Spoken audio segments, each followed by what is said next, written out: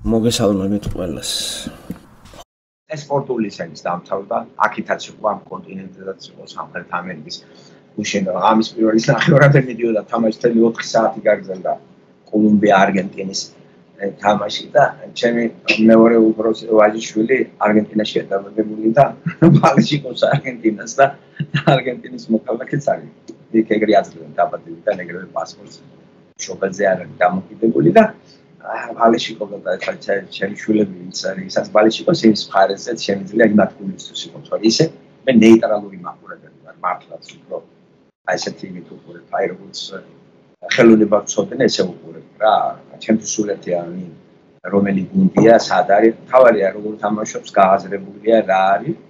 და მას თაყურს ვადევნებ ხა თლიანად 20 საფრანგეთში ჩავისდე მოგატყუებთ ეს თაყურის დევნება შეგადაში რაღაც ჰაილაიტებით მე ვთქვათ, გუნდის შესწავლა, რაღაცა გარკვეული აზრი შემეკვრას, იმიტომ რომ ესეც გარკვეული ყოფიერების ფორმა არის და ჩვენ ცხოვრობთ აქ და მოსახლეობაც დაკავებულია ამით რელიგიის დონეზე არგენტინაში მომიწია ცხოვრება გარკვეული ერთი ნახევარი წელი და მე მტოვებდა და არ დავჭი წამოვიდი იქნა, ხო?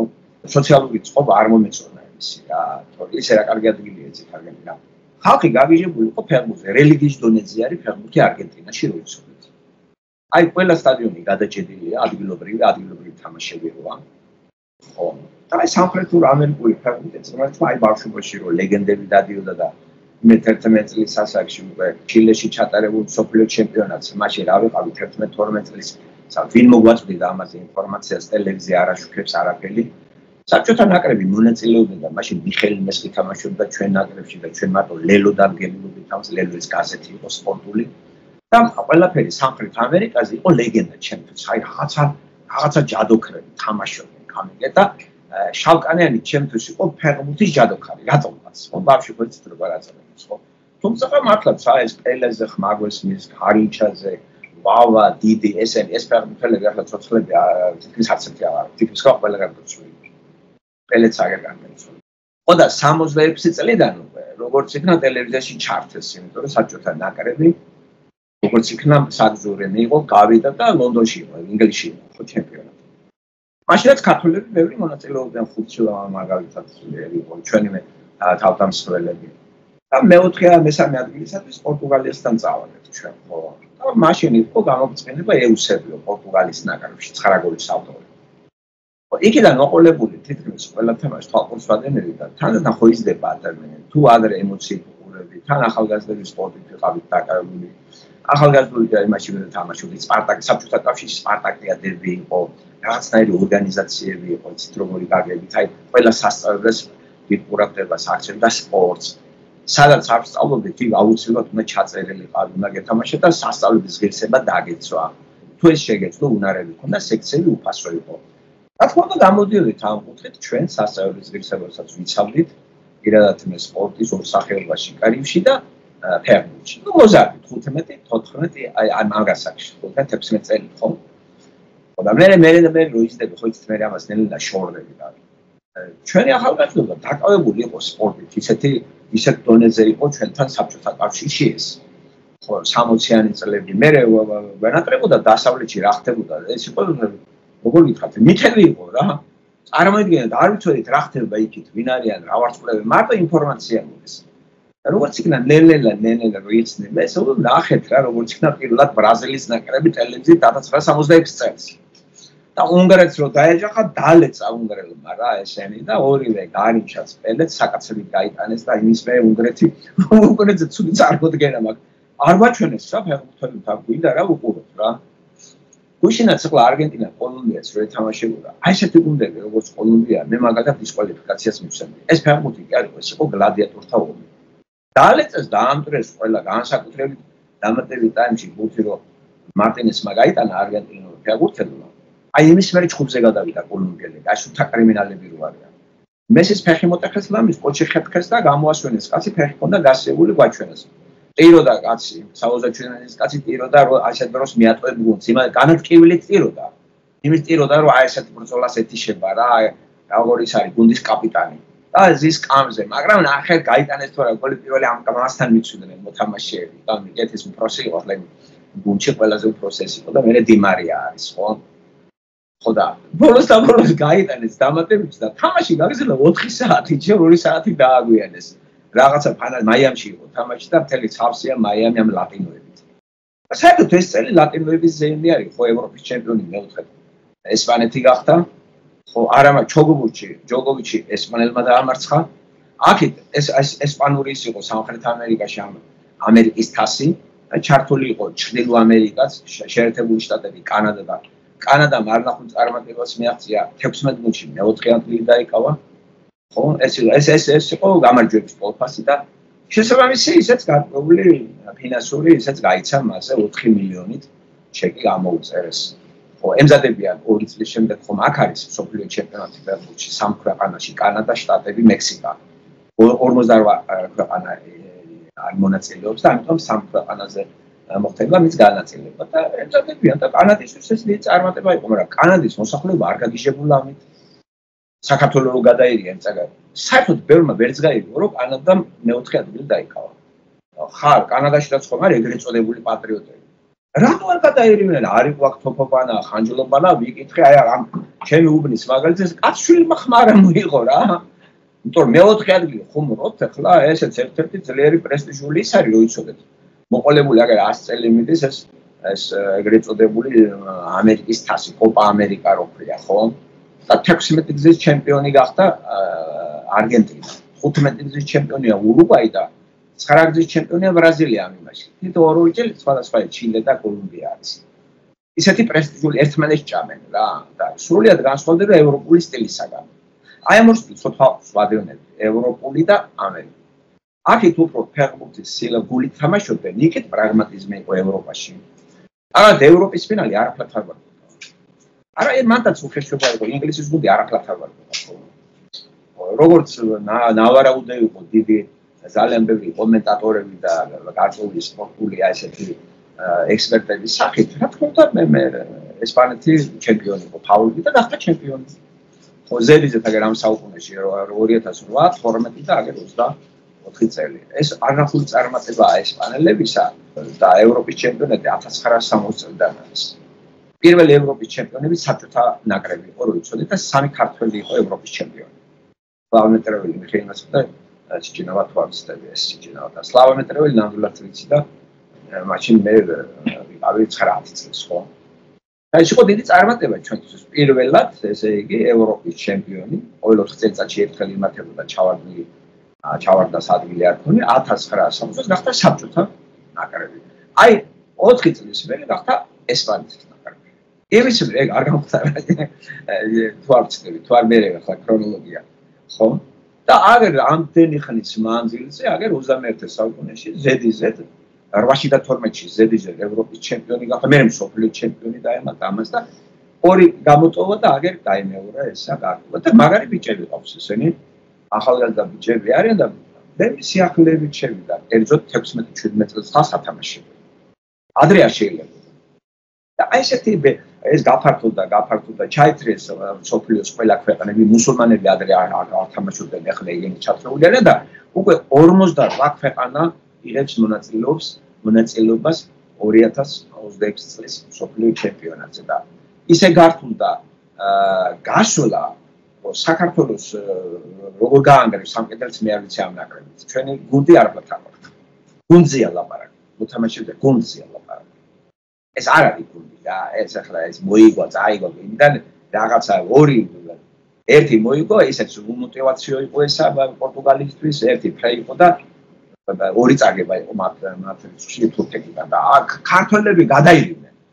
და არ კანადელები არ გაგიჟებულან მეოთხე ადგილზე გავიდნენ სამხრეთ ამერიკის ჩემპიონატში მანდრო თამაშობს ყველა აი ძალიან მაგარი ფეხბურთელები. აი სულ ყველა ევროპაში რო არის, თითქმის სულ ყველა ევროპაში თამაშობს. ურუგვაის ნაკრებში ვინც არის, კოლუმბიის ნაკრებში ვინ არის? კოლუმბიის ნაკრებში ერთ-ერთი მოთამაშე კრასნოდარის იმაშიც თამაშობს რუსეთში. ერთი მოთამაშე გალათასარაიში ეს თურქეთის ნაკრები და არ გაგიშებულა არავინ და ასევე 4-6 მოთამაშე კანადის ფეხბურთელები ევროპაში თამაშობენ უმაღლეს გუნდებში და უმაღლესში განა რაღაც ჭეკლასის იმებში. რატო ვლაპარაკობ იცი ამაზე რელიგიის დონეზე ქართველებსაც აქვს სპორტი და არგენტინაც არ ჩამორჩება პირიქით ქართველი არ ჩამორჩება არგენტინა ხო საერთოდ? ხო და რელიგიის დონეზე ეს ხალხო თაყვანისა იცით რა ფანატიზმია რა. ეს არ არის სწორი იცით? და ქართველებიც აუ რა ამბავი ატეხეს თელ აუ გაუ სოფლიომ გაგვიჩნო რა სოფლიომ გაგიჩნო ახლა აი აი აღშვები ხომ არა ვარ და თუ ამას გავაკრიტიკებ ჩვენ ქვის როლა რა საჭიროა მე ვიყავი ეს ზიზღე იგულისხმება ამაში თუ რა კრიტიკა აუცილებელია ცოტა ნამეტანი თავში არ უვარდეს ადამიანს რა იყო ეს რა გუნდი იყო ხა ყველაზე სუსტ ჯგუფში მოხდა საქართველოს ევროპის ჩემპიონი ყველაზე სუსტი გუნდი იყო. და აგვაწნა თურქეთმა 3-1 მაღალ დონეზე პორტუგალიამ გვაჩუქა და კაცმა არ იცის მაგრამ მოხდა. ხალხი არ თამაშობდა იქა და შვიდი კაცი არ ჩვენმა არ ათამაშა პორტუგალის. და გაგვათრია პორტუგალია მიქა და მე გავაკეთე 4-1 გავე წავაგეთ ესპანეთთან და ის გოლიც ავტოგოლი იყო ესპანელმა გამიტანა ჩვენ თავის კარში გაიგანა და ჩაგვეთვალა ჩვენ. და რა ამბავი იყო? იცით რა არის რატო არა ჩვენ თავშეკავებული სიხარულში სიყვა არ შეიძლება ესა ა გავიჟდით რა არის ახლა ასეთი ევროპაში გავედით ევროპაში არის ყველა ქართველი დღეს. სულ ყველა იმაცხოვს რა გადაგვირია ასე რა არის არ შეიძლება მას ზომიერად შევხედოთ ნუ გავაგიჟებთ ერთმანეთსთან, ნუ გავამაყებთ, სულ ყველაზე არიქა, ნუ გავაფუჭებთ ერთმანეთს. რას ვიბერები და რა ვართ ამისთანები, ა? და აკოკოჩებული ქვეყანაში მცხოვრობ. ჯერ ეს სახელმწიფო ხომ არ არის? სხვისხე სესხებით ცხოვრობს ქვეყანა, სესხებით.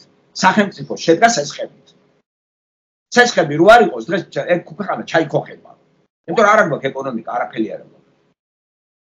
თუ უყურებთ, თქვენ თუ მოუყურებთ მაინც ამ თამაშებს მე რა აზრის ახალ საქართველოსი განსაკუთრებით ვიცი როგორი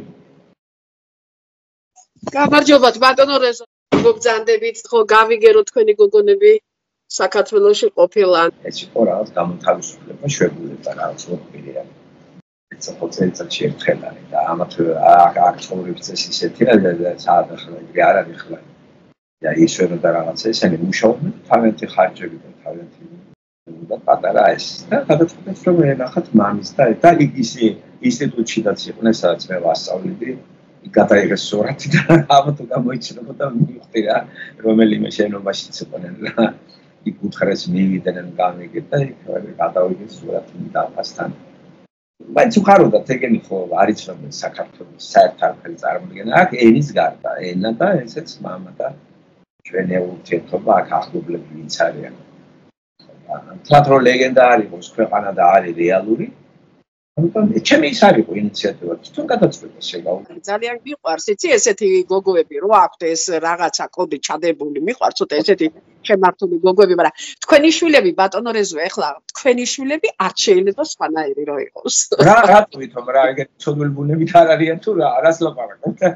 არა არა ყველანაირი ისა აქ ხასიათი აღებული გოგონებს. აი თქვენ ხო ეხლა მე არ ჩემი ხასიათი კი არ მინდა გქონდეს ბავშვებს. მე მინდა ქრისტეში იყვნენ დაბადებულები მე ამას უსურვებ ჩემშულებს და ყველას თქვენსაც ხასიათი ხა მე რას რა თქმა უნდა ეს აუცილებელია და ეჭვიც არ მე იცით რა არის ბატონო ეხლა ვერ მოვთხოვთ ყველას რომ გაყევი ქრისტეს გზას მაგრამ ხომ შეიძლება მაგის გარეშედაც ძალიან მაგარი ადამიანი იყო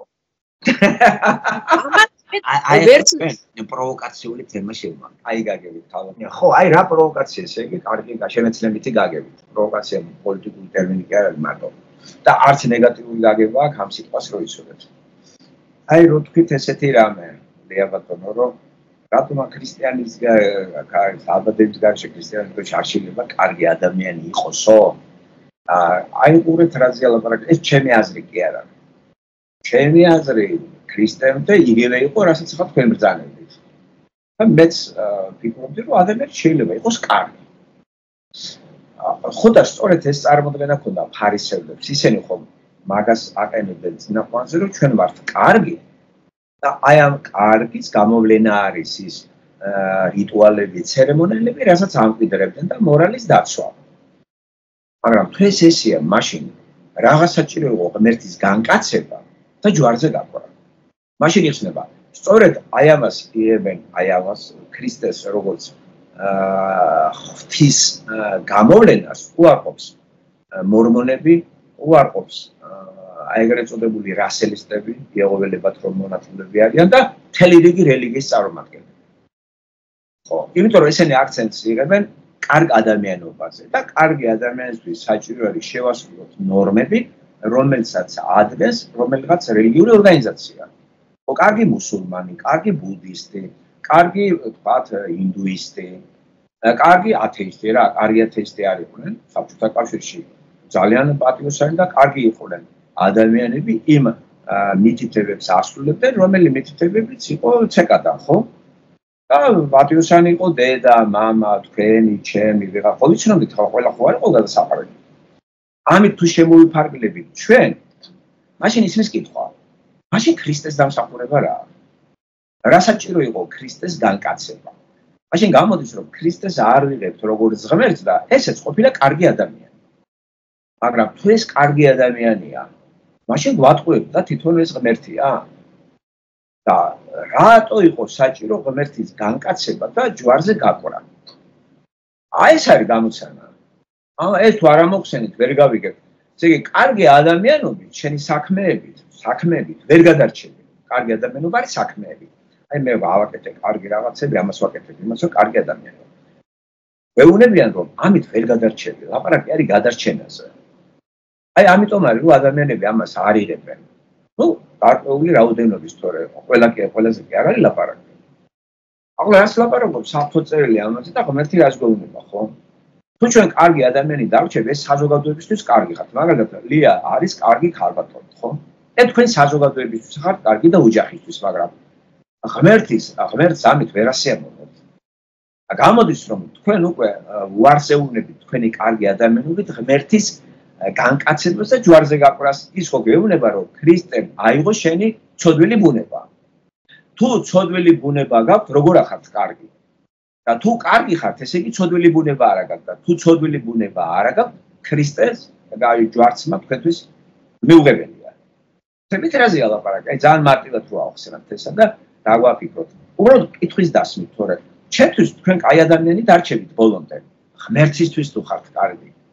ჩემთვის დარწმუნებული ვარ, რომ პატივსაცემად შევხვდებით და ეთიკას ვიცავთ, ნორმებს ვიცავთ და ძალიან კაი ხალხი ხართ. მაგრამ საქმე ამაში ხომ არ არის. თქვენ როგორი დამოკიდებულება გაქვთ ღმერთთან მარადისობაზია ლაპარაკი. მარადისობაში ლია და რეზო შევა. შევალთ იმ შემთხვევაში თუ ჩვენ ვაღიარებთ ჩვენ ცოდვილ ბუნებას და მივიღებთ იესოს როგორც მხსნელს. ამის შედეგად ჩემში ხდება ზე სასწაული. სული წმინდის მეშვეობით ხდება ახალი ადამიანი. ადამში დაბადებული ლია რეზო, ადამში დაბადებული მოდიან, კარგი ადამიანები არიან, საზოგადოებისთვის კარგ რამეს აკეთებენ, მაგრამ აქედან მე არ მივიღებ იესოს, ხო? მაშინ მე სამუდამოდ იესოს შორდები. მაგრამ ისობაში მასთან არ ვიქნები, მაგრამ ვაგრძელებ ურთიერთობას ღმერთის გარეშე და ეს ხომ ტანჯოვის ტოლფასია და ჯოჯოხეთი ქვია ამას. ამაზეა ლაპარაკი. თავად იესო არის ძახის იოანეს სახარების მესამე თავი ეს მუდმივად გამეორებული მაქვს ეს თავი და მუხლი. 15-16 მუხლი მესამე თავისა აი ვინც არის სული წმედისაგან და წყლისაგან არიშვება ის ვერ შევა ცათასასურველში. ესე იგი მაღლიდან შობაზია ლაპარაკი. ეს არის ზე სასწაული, ზე სასწაული. დააკვირდით ფიზიკური დაბადება ხო სასწაულია. აი არისო ადამიანი და შემოვიდა. აი არისო ადამიანი და უცებ დაიბადა, ხო? არ ვიყავი მე და დაიბადა, არ ვიყავ და დაიბადა. ეს სასწაული არ არის. მაგრამ ეს ადამიანში აი ადამი პირველი კაცი რო გააჩინა ღმერთმა, ღმერთს რო დაშორდა, მას მე გამრავლების შედეგი არის მე რომ მოვედი.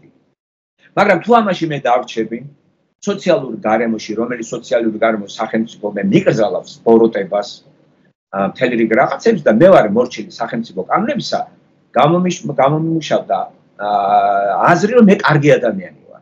და მე ღმერთს არ ვიღებ. კარგი ადამიანი ვარ, არ ქურდობ, არ ვიპარავ. ხო, ეგ საზოგადოებისთვის ახარ შენ კარგი. მე სახელმწიფოსთვის ვარ კარგი. ხო, იმ ვიტრო ოჯახისთვის ვარ კარგი.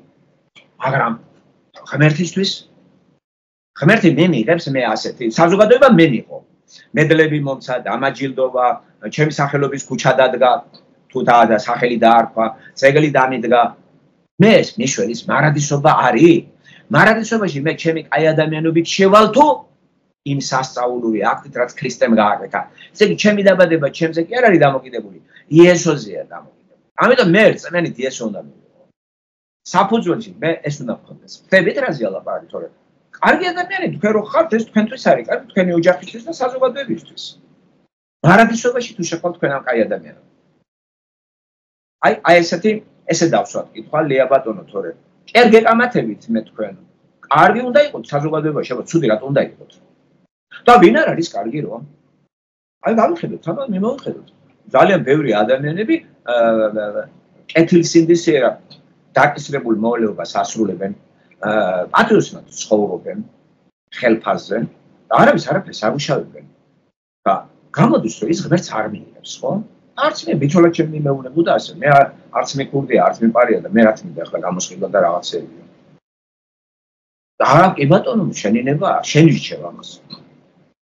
ხო, არ ვიწყობებით ესეთ ადამიანს. არ ჩემთვის ხარ კარგი. ქრისტესთვის თუ ხარ მისაღები მეთქი. მე მადლობელი ვარ, ჩემთვის ხარ კარგი. კამერისთვის ხარ კარგი. შვილებისთვის ხარ, საზოგადოებისთვის ხარ კარგი. მაგრამ რო გარდაიცვლები საზოგადოებას დაავიწყდები. და თუ გამოჩენილი საზოგადოებრივი პიროვნება ხარ, ზეგს დაგიდგამენ, მე შენ მარადისობაში გამოგადგება. ამიტომ საკითხი ასე ვქოთ, თუ თქვენ მორწმუნე ხარ და აღიარებთ ხილული სამყაროს გარდა კიდევ უხილავ სამყაროს, მაშინ უნდა აღიაროთ, რომ ცოცხალი რეალური ღმერთი არსებობს და იმასთან ურთიერთობა უნდა ავაგოთ და კითხვა უნდა დავსვათ. იგი ჩვენ ვიღებს იმ მოცემულობით მე რო ვაყენებ, მე ღმერთო კაი ადამიანი. ფარისეველი ამას არის ახისლია ბატონო. ლუკას მახარებელს კიდე გაგახსენებ. იესო ქრისტე ეუბნება მოციქულებს იმ მაგალითზე. აი ორი კაცი შევიდა ტაძარში. ფარისეველი და მეპაში. ნახოთ რას გელაპარაკ გახსენების თვალსაზრისით ფარისეველი იძახის ღმერთს მადლობას უთის რომ კაი ადამიანი გამბადენეო აი აი აი ესეთი ვარ ისეთი ვარ ამას ვაკეთებ ჩამოთვალა რა საკეთებს და არ გევარ ასეთ მათხოვარს როგორიც ასაო აი შვირა ხელი მებაჟისკენ. ხედავთ? ახლა მებაჟი რას იძახის?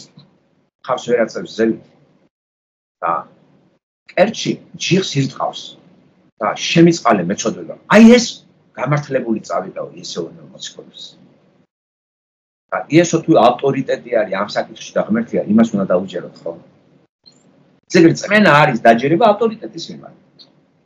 ხოდა ღმერთი არის ავტორიტეტი ჩემთვის. მან თქვა ეს თორე რომ არ დაუჯერო იმას, მე აი ადამიანი ვარ, კი. აი რო ავიღოთ მაგალითად თქვენზე ჩემს დაყვეთ. არაფერს ჩვენ არ დაგვიშავებია. არ მომიპარავს, კაცი არ მომიკლავს. არავინ არ გამიუპატიურებია. არ მომიწყვები ადამიანი, არ დავპირობები ვარ და იცი რა აი მოპარვით რაღაც არ გამიკეთებია. ეს შენ გამოდის კაი ადამიანი ვარ. რა თქმა ღმერთი. ხო? ვინ არის კაი ადამიანი? მეც რამდენი კაი ადამიანს ვიცნობ. მართლა კაი ადამიანებს რა. არ არის ეს საკმარისი მეთქე. როცა ქრისტიანობაზე ლაპარაკი. იმიტომ რომ ქრისტე კაი ადამიანების იმაში არ შემოსულა. მე ჯვარზე არ არ გაკულა ცუდი ადამიანებისთვის.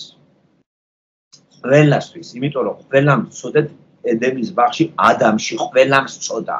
ნახეთ რა არის? ადამში დაბადებული ყველა წოდვილია ხალხო. და არაფერი არ გჭირდება ჩვენ გარდა იმისა, რომ ეს ვაღიაროთ და იესო ქრისტე მე მიღოთ როგორც მცნელი და ხდება სასწაული. იცვლება ჩვენი გული და გონება. ამის გამოვლენა არის ناقოფით, აზროვნებაც იცვლება. ეს არის დაბადება. და სხეული არის ძველი, რომელიც გარდაცვალების მერე შეიმოსება ახალი. რამე თუ იესო პირველი იყო, ვინც აღდგა. და ადამში ხედავთ, პირველი ადამიანები ადამიანში დაბადებული და იესო მეორე ადამიანი. ეგ ადამში კი არ არის დაბადებული. ეგ ღმერთი მოვიდა და ქრისტეში ყველა ახალი ადამიანია ესე იგი ქრისტიანობა დაბადება. და ქრისტიანობა რო რელიგიად აქციეს ამიტომ არაფერი არ ხდება. კათოლიციზმი ეს ორთოდოქსია პროტესტანტების ნაირსახეობა და გადახედეთ რა რა სახელმწიფოში ვარ და რა პრაღამში და ეს რას მოიტანს? აღწერილია აპოკალიფსში. ერჯერ მithქვამს ეს და ვიმეორება, გონიათ ვერ გავიმეორებ ერთი და იგივეს, ჭეშმარიტება უნდა იმეოროს ადამიანმა. და სულაც არ მაწუხებს მე, რო თქვა ერთი და იგივე, რაც ჭეშმარიტია, რა თქმა უნდა ერთი და იგივე. ახლა გავაოცო ადამიანები ახალი აზროვნები, რა თქმა უნდა, ახალი აზროვნება, რაც ჭეშმარიტია, ის უნდა უნდა ვიმეოროთ. და გამოსახოთ ჩვენ გამოვიხატოთ და დაველოდოთ გარდაცვალების მერე ღმერთთან ჩვენ მისვლას. აი აქვე საფუძველი თქვა ჩაუყარეთ ამას. ჩვენი კაი ადამიანობით ჩვენ საზოგადოება გვიღებს, მაგრამ ამ საზოგადოებას რო შორდებით, ღმერთი მე მიღებს. რომელთა წერილი გახსოვთ მეშდემები თავი? სამსიე ახალი ახმა რა არის? ახალი ახმა ახალი ადამიანია. ახალი დაბადებული ადამიანს დაუდო ეს ახმა. კავშირი გააბა ჩვენთან. და ეს უნდა შევასრულოთ, შემოკარგებო. და ეს სასწაულია, ჩვენზე არ არის დამოკიდებულია. დაფიქრება საჭირო, რომ ვინ უარყოფს იმას, რომ კაი ადამიანი ხართ. არა ხართ თქვენ თავს ავნებთ, საზოგადოება თავს გაგაზრდოთ, დაგიჭერს, რომ მოიპარო რამე. ეს არის საკმარისი. გამომსყიდველი იესო მოვიდა მხოლოდ ყველასთვის, ვინც სოდველ ბუნებაშია დაბადებული და ყველა ადამიანი ადამიანად შემოვიდა. ამას ვიღებთ რწმენით. მე მის სიტყვას კითხულობ და რაღაც ხდება ჩვენში ახალი ადამიანი იბადება. და ამას იგრძნობთ თქვენ ناقობთ, თქვენივე ناقობთ. და სამყაროში უკვე ჩვენ სხვა ხიზნები ვართ. ბევრჯერ თქვი ეს მე. ფაქტობრივად ვიმეორებ იმას ადრეული რაც მოგისმენთ. ხო არის გამეორე. რა, ჭეშმარიტი ვარ გამეოროთ? თუ ახლა ახალი რაღაცა წაკითხული ციგნებით გელაპარაკოთ. გასაჭიროა იქ. ასე რომ დაბადება აუცილებელია. არ ჭირდება ამას მთელი ამბავი. დაფიქრება ჭირდება, მიღება ჭირდება და მიღებამდე ცოდვილი ბუნებას აღიარება. და მე უკვე ქრისტეში დაბადებული ისეთი კარგი ადამიანი იქნებ, ეს კარგი ადამიანი ქრისტეში იქნები კარგი. ეხლა ქრისტეს გარეშე ხარ კარგი ადამიანი. რამე თუ ცოდვილი ბუნებას და ღმერთს დაშორებული ხარ. მაშინ იტყვება ღმერთი რო იძახის რო ჩემო თარაფის გაკეთება შეიძლება. უამრავი ციტატები არის ბიბლიაში, ხო? ასე რომ ისე არ გარდაიცვალო, რომ ეს არ მიიღოთ. და იქით მე ერთმანეთ შევხვდებით. და თუ თქვენ აქ ქრისტეს არ მიიღეთ და მე მივიღებ, თქვენ კაი ადამიანები თან ჩემთან კარგად ახართ, მაგრამ იქ ერთმანეთს დავშორდებით. თქვენ სხვაგან იქნებით, მე სხვაგან. თუ მიიღებ და მეც მიიღებ, ორივე ერთად იქნებით და ყველა. აქ ყველა ერთად ავართ ახლა, ვინ ქრისტიანია, ვინ არა, ეს მარტო ღმერთმა ის, მაგრამ იქ ყველა ერთად იქნება ერთ ადგილზე, სადაც ღმერთი იქნება და ღმერთს დაშორებული ადამიანებიც ერთად იქნებიან და უღმერთო გარემო და საზოგადოება უკვე ტანჯვით ხასიათდება და ჯოჯოხეთი ქვია ქართულობას. აბა სხვა ვინ იტყვის კიდე ალიან რაცა თქვა. თქვენც თქვა თუ ერთდებით მაგას ვისაუბროთ ვისაუბროთ კაცო არ არის შეურაცხყოფას არ მევაყენებთ სიტყვები და თქვა რა არაფერი არ ვთქვი ახლა. ლიას ისეთი რომ იცი რა აი შევწოდეთ არა როგორ ეკადრებ არა კიდე ერთხელ ასე გარკვეულად დაისვა საკითხი რა კიდე ერთხელ უტრიალოთ ამას. შეიძლება თორა ქრისტეს გარეშე ვიყო კაი ადამიანი ქრისტეს გარეშე ხარ კაი ადამიანი მაგრამ ქრისტეც არ იქნება მაგრამ ეს კარგი ყოფნა კიდე მეორე აქ გაიძულებს საზოგადოება რომ კარგი იყო. და არ ყოფილი რამე ციხეში წავალ და ილუზია შემოდის რომ კაი ადამიანი ხარ. ვეთ ამაშია ამბავი. მე თელ ცხოვრების მასზე არ მოგიტყვები არა ვინ? ცუდი აზრები არა გაქვს. არასოდეს ფიქრით განცდით კაცი არ მოგიკლავს არასოდეს ისეთი რამე არ გიქვამს რომ ვინმესთვის წენა არ მიგეთ. როგორ ვართ კაი ადამიანები ნახეთ რაღაცა თქვით და ვიღაცას ეწყინა. რა ერთვა კაი ადამიანი? სანამ ქრისტიანი არ გახდები. ქრისტიანი უკვე არჩევს სიტყვებს რაღაცნაირად ეფერება ეს სიყვარულება სხვა ადამიანს დაუხსნეს კიდევაც რომ წენა მე ჩემგან კი არ მოდის. შენში არის ცოდვილი ბუნება და ეს იღებს სიტყვას საწყენად. განმარტავ ასე იმას და გავაგებინეთ და სიხარულს და სიყვარულს შევიტანთ ადამიანში. მოვეფერებით, წყენას გაუფანტავთ. რაღაცნაირად თუ გადაწყვეტს, თუ არა და ხო არ შევაწყებ, თუ არ უნდა მისინება ახლა. რა სიტყვის სხვა ამ საკითხთან დაკავშირებით აძლევთ? მოგესალმებით. კი ბატონო, გესალმებით. თუ ადამიანს ღმერთი არ ასწამს და ისე არის კარგი ადამიანი, მაშინ ის არის აი კარგი ადამიანი ზნეობრივი წესიერი ასეთ. მაშინ ის არის ძალიან ამაყი. და სიამაყის გამო არის კარგი. რომ მე შენზე უკეთესი ვარ მე ყველაზე უკეთესი ვარ მყავს გარშემო ეგეთი პატიოსანი ამაყი ხალხი. და მაშინ უაზრობა არ თუ ღმერთი არ აკწამს და ამაყი ხარ ამ პატიოსანი ხარ. სისულელია თუ ღმერთი არ აღწევს, მაშინ ყველაფერი უნდა გააკეთო, რომ იყო ძალიან კარგად. აი, გაიწყვიტო ნამუსის ძარღვი და ყველაფერი გააკეთო და იყო საუკეთესო მდგომარეობაში. მე კარგი ადამიანი ვარ და ამით ეგ არის სისულელე. შეიძლება იყოს ზოგიერთი თავსიტყვებდეს, მაგრამ ვამბობ, რომ უდიდეს ცოდვაშია და სიამაყე და ამბარტავნობა არის იმისი პრობლემა. დავასრულე. მე თვითყვი მაშინ შემდეგ კვირას უნდა განვიხილოთ მე-13 და მე-14 ფსალმუნები. მე-13 ფსალმუნში მეორე მუხლიდან უფალმა ზეციდან გადმოხედა ადამიანთა შვილთ, რომ დაენახა თუ არის ვინმე გონიერი, ღმერთს რომ ეძებს. ყველამ უარყო, ერთიანად გაიხრწნა ყველა. არ არის მქმნელი სიკეთისა, ერთიც არ არის. ღმერთისთვის ხომ არ არსებობს დრო და სივრცე.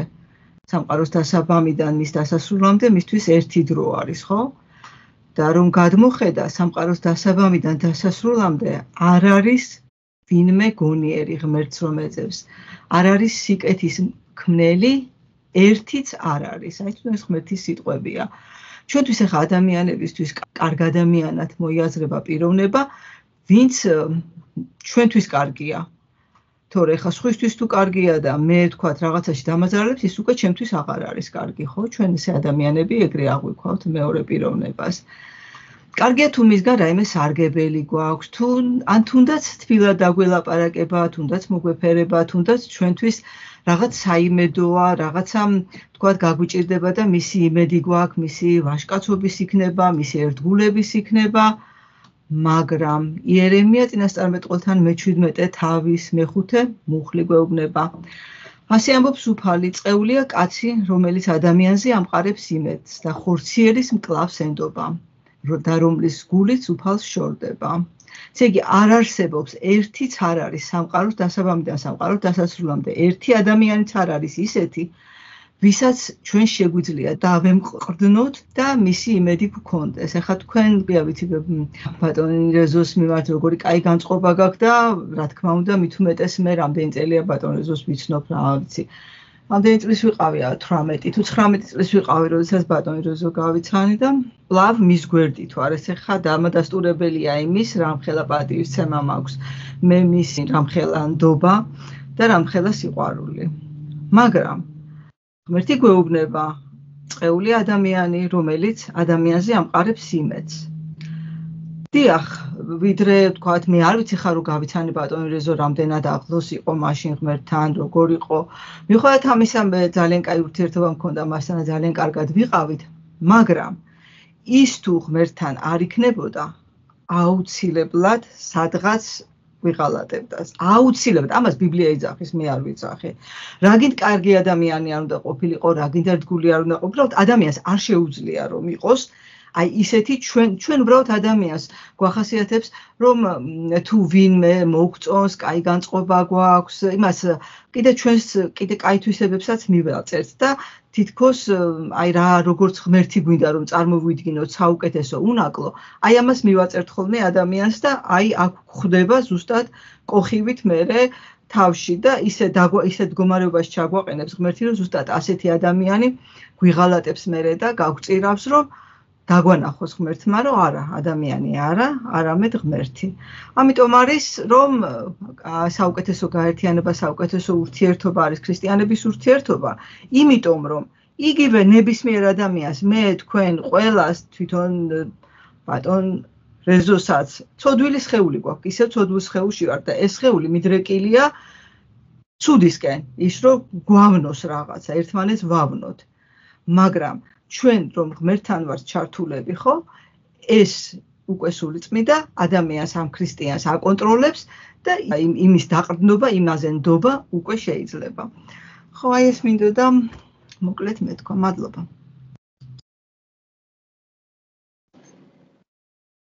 სხვას სხვას არ აქვს რა? ან ასეთი ამაზე რაც თქვა, თქვენ როგორ ფიქრობთ? რამდენად ესე იგი არის მისაღებიც, რომ კარგი ვარ მე და არ მჭირდება არც რელიგია, არაფერი და რიტუალები და რაღაც. ამ შემთხვევაში თქვა ქრისტე არ მჭირდება, მე არ მინდა. არც ვიცნობ არაფერი ვარ, აი ადამიანი არ მომიპარავს, არ მიფრდი, აი დადგენილ ნორმებს ვასრულებ რაღაც და ესე. მაშინ სიკპის სიცოცხლეზე უნდა გავარკვიოთ, წარმოქმნა როგორ ვაქვს, არის თუ არა მარადისობა, სიკპის მერე რა ხდება, ეს ხო საკითხი, მარადინი საკითხი არის. მოკლედ რა გველოდება გარდაცვალების მერე, როცა იქნება დავწოვეთ ქვეყანას ასაკში შევდივართ. ტოვებთ რა ქვეყანას ხო ასე თუ ისე აქტია. ასე რომ თქვენი აზრით მოგვაწოდეთ რა, რამე ესეთი კი არ არის ჩვენ ხომ მაინც კეთილი განწყობილი ვარ ყველას მიმართ პირადად მე პირადად ჩემზე თუ ალაპარაკი ყველას მიმართ ძალიან კეთილი განწყობა მაქვს რა აი ფიქრთაც არ გამივლია არავი არავის შეიძლება რაღაცა დავაკრიტიკო მაგრამ აი რო გავიფიქრო რომ ერთი ამის მაშინ მე არ უნდა გაგიქენდეს დილა რა ძალიან კეთილი განწყობა რაც გინდა დილაპარაკეთ იყავით შენ წყალის ხვის მიმართ ეს აი ათეისტია და ეს ათეისტია ესე არ არის სწორი ხლა რა ხო ერთმანეთე არ დავადანაშაულოთ რომ ათეიზმში. მაგალითად, ეხლა ახეთ მე რო დავტაკებოდი ეხლა ვიყო ფანატიკოსი ქრისტიანი და ეს რა არის? ათეისტური აზრია. ეს რა აზრია? ეს სწორი იქნებოდა ჩემს მიმართ, ჩემი ჩემი მხრიდან სწორი იქნება. ხო დავაფრთხო ადამიანს. ამოცანა ის კი არ არის ადამიანი ვამხილო. ესეთი ხარ, ისეთი ხარ, როგორ შეიყვარებ ნარკომანს, მამაზახს და ბარდელიდან გამოყვანილ ადამიანს რომ დააკეთილ ჩვენ მაგაში ხარ, მაგარი თორე. დახჭობა ადვილი არის. ან კიდე ადამიანს უი ათეისტო შენა ეს რა არის კაც საგინებელი სიტყვა პროფესორები ათეისტი არის ყველა პროფესორი ათეისტია 40000 პროფესორი ამერიკაში ათეისტია მაგრამ იცი და რა კარგი პროფესორი არიან როგორ შეიძლება ეს ესე არ შეიძლება ეს ეგ სექტანტების ის არის რა იარლე სექტანტების სხვა ათეისტია. და საქართველოს სესიაში ათეისტო შე სატანისტო ტერმინები ნახე ერთმანეთს როგორ ლანძღავენ კაც რა იცი შენ ვინ ვინ არის ჯერ ერთი შენ თავს მიხედე ხო? ამიტომ ცოტა გაბედული იყავით რა ამ საკითხთან. და გამარჯობათ ბატონო რეზო მოგესალმებ დიდი სიყვარული. კი ნამდვილად ასია ღმერთის სიტყვას მე ვეთანხმები აუცილებელი ადამიანი უნდა შეიცვალოს და არავინ არის აი რომაელთა თავი ხომ მესამე თავში ხო გვეუბნება რომ როგორც წერია არავინ არის მართალი არავინ არის გონიერი არავინ ეძებს ღმერთს. ასე წერია და სვისები არ მაინტერესებს სხვა რამდენად არის მე რამდენად ვარ ღმერთთან მისული. ყველაზე მთავარი ეს არის გასარკვევი თვითოური ჩვენთაგანი ღმერთთან რა მიმართებით ვართ როგორ ვისმენთ მის სიტყვას გვწამს თუ არა მისი პირველ რიგში რწმენა, რამდენად ვართ რწმენაში. განსაკუთრებით ა ブラ ამის რწმენა იმხელად იქ განსახილველია, რომ აი როგორც წამდა რანაირ მე მწამს როგორც აბრამის ვარ აბრამის შვილი ვეკუთვნი თუ არა აბრამის შვილობად ვაღიარებ ჩემ თავს აქედან მოდის და რომაელთა თავი აი ძალიან კარგი თავებია როგორც ძალიან ბევრი რამე გავიგე რომაელთა რომ მე არა ვარ ხო წმინდანი არც კარგი ადამიანი ვარ. არ არსებობს კარგი ადამიანი ზრდილობიანი ეთიკა ეს ეს სხვა რაღაცა ეს არის შეფუთულობა. ეს არის ადამიანის შეფუთულობა. მეორე ადამიანის მიმართ რომ კარგი გამოჩნდეს. მაგრამ როცა არწმენას მიყვებით და ღმერთი აქ გვაგებინებს რომ აუცილებელია შეცვლა იმიტომ რომ მე შეფუთული ვარ და რო აღარ ვიყო შეფუთული, ამიტომ იესო ქრისტეს რწმენა გვჭირდება გამოცვლა სულიერი სულიერი დაბადება საჭირო რომ შევიცვალოთ არა ფიზიკურად, არამედ შინაგანად. განახლდეს ჩვენი სული და ამიტომ თან აუცილებელიც არის აქ გადარჩენა ასია, ხო, საუბარი. მე ამ კარგი ადამიანი ღმერთი მეუბნება რომ ვერ გადავრჩები აქ რწმენა აუცილებელი. და აუცილებლად უნდა შევიცვალო რომ სიკვდილი ისედაც არის ჩართული მე სიკვდილში ვარ თუ არ მივიღე მე იესოს ქრისტეს რწმენა და სიყვარული მე ისევ იმ სიკვდილში ვჩები ისევ იქ ვარ და ის არ მინდა ის არ მინდა იქ საიდანაც გამოვძევდით რა გავიარეთ რა ეს ტანჯვა არ მინდა მე ეს რომ კონდეს მარადიულ სიკვდილში ტანჯვა. მე მინდა რომ მარადიული სიხარული მქონდეს იესო ქრისტეს სიყვარულში. და ამიტომ მე ვეთანხმები აი მწამს მთელი გულითა და სულით იესო ქრისტეს სიტყვების. აი რომელთა თავია ვინაიდან მე არ მწხვენია სახარების რადგან ღმერთის ძალა ძალა იგი ყოველი მორწმუნის გადასარჩენად ჯერ იუდევლისა და მერე ბერძენისა ხო? აქ აი ძალიან კარგი თავებია და ვინაიდან მასში ცხადდება ღმერთის სიმართლე რწმენიდან რწმენაში როგორც წერია მართალი იწოცხლებს რწმენით. ეს ჩემთვის ძალიან ძალიან დიდი სასიხარულო ამბავია და თლიანად რომაელთა თავები ჩემთვის არის გასაგები რამდენად უნდა აი სულის მდგომარეობის შეცვლა. თუნდაც იოანეს სახარება ესე იგი თქვენი არ ყოფნით ვიჯექი მე სახარებასთან გვერდზე მედო ბიბლია და აქედან რამე სიტყვა რო თავში მომივიდო და მაგალითად რწმენა ჩავიხედავდი და მოვძებნიდი სად იყო გამფენილი ეს რწმენაზე საუბრები როგორ და ესე რომ მუშაობთ. ძალიან კარგად იხსნება ჩვენი შინაგანი ცოდვილი ბუნება რა კარგად გვაგებინებს ღმერთი. მადლობა იესო ქრისტეს ამ მადლის დაუნსახურებელი მადლის მიმართ. რამხელა საჩუქარია ამას რო ვფიქრობ და რამხელა საჩუქარია ესე უღირსი ადამიანი, სადღაც მწირი, აი მართმადიდებლობისგან დაბიჭებული ბატონო რეზო, მე მინდა ამას ხაზი გავუსვა. არ ვიცი, აი რამხელა სიხარულია აქედან გამოსვლა, ამის გაგება. და მაშინ რო ბლუყუნებდი და მეშინო და ვიღაცა რაღაცა სიტყოდა და ვერ პასუხობდი ვერაფერს. ეხლა შეიძლება არ უპასუხო, მაგრამ ჩემ გულში ვიცი რომ ის არასოდეს არ წაფოწიკდება. მადლობა ღმერთს აი ამ დიდი სიყვარულისთვის, ამ მადლისთვის, რაც ესე მოგვეცა ადამიანებს და ამის მიღება რო უჭირთ, აი ამის ზევდა მაქვს რა ჩემი ახლობლებიდან. ეს სევდა მაქვს ამას აი ეს კარგი ადამიანებს ვისაც ვეძახი და არ იღებს. მე სევდად მრჩება მე სიყვარული კი მრჩება მათ მიმართ მაგრამ სევდად მრჩება და მე თამდაბლობა აუცილებელი. შეუძლებელია ქრისტიანი გერქვა და თამდაბალი არ იყო ეს შეუძლებელია. შეიძლება გაიშვირო სხვისკენ ხელი არ არსებობს როცა იცი რომ ცოდვილი ბუნება მასში და როგორ შეიძლება ეს ათეისტი იქნება, ეს იქნება ის და არ მოусმინო, არ გაუგო, ეს არ უთქვია იესო ქრისტეს. ყველგან იყო, ყველგან დადიოდა და ვისაც უნდოდა ის შეიცვლებოდა, არავის არ აძალებდა და ესე არ შეიძლება. მე ამას ვიტყოდი ეხა იმ ადამიანების მიმართ, ვინც ილის წამება ქვია მაგას თუ რა დავარქვა, არ ვიცი. ხო ეს ღმერთი ხედავს ყოველას გულებს და ვინ როდის მობრუნდება და ვინ როდის მიიღებს იმ რწმენას ურთიერთობაზეა დამოკიდებული ინდივიდუალურად და ესე როგორ შეიძლება ვეძახო შენ ათეისტი შენ ესეთი შენ ისეთი რა ვიცი ეს მიუღებელია ჩემთვის და მადლობა ბოდიში თუ ამდენ ხანს ვისაუბრე. აა არაფერს კაცო ნიკით დიდი მადლობა კიდევ ის შეუძლია ამასთან დაკავშირებით თქვა, აი რაც თქვა, აქ შეიძლება თუ არა ისე კარგი ადამიანი. აი ლიტერატურა საერთოდ მოგვითხრობს დადებით გმირებს. ასე გვასწავლდნენ საბჭოთა კავშირში სწავლა, როგორი იყო მორალი ძინა პლანზე იყო და მორალი ყოველთვის ესე იყო თემებს წერდით, თქვა სიკეთე და ბოროტება და დადებითი გმირები. ეს იყო ხო? აი ვერხის წყალსანშიც ეს არის აბა მეგობრობა, აბა სიყვარული ხვდებით და ამ ლიტერატურის სწავლამ ადამიანები რა კარგი აქ კარგად აქცია? ვინმე დადის იმ ნორმებით ყველა ლიტერატურა მოგვითხრობს სიკეთეზე და დადებით გმირზე. ხო? ხო და ლიტერატურის ფორმა გამოყენებული საფრთხო წერილში ხო?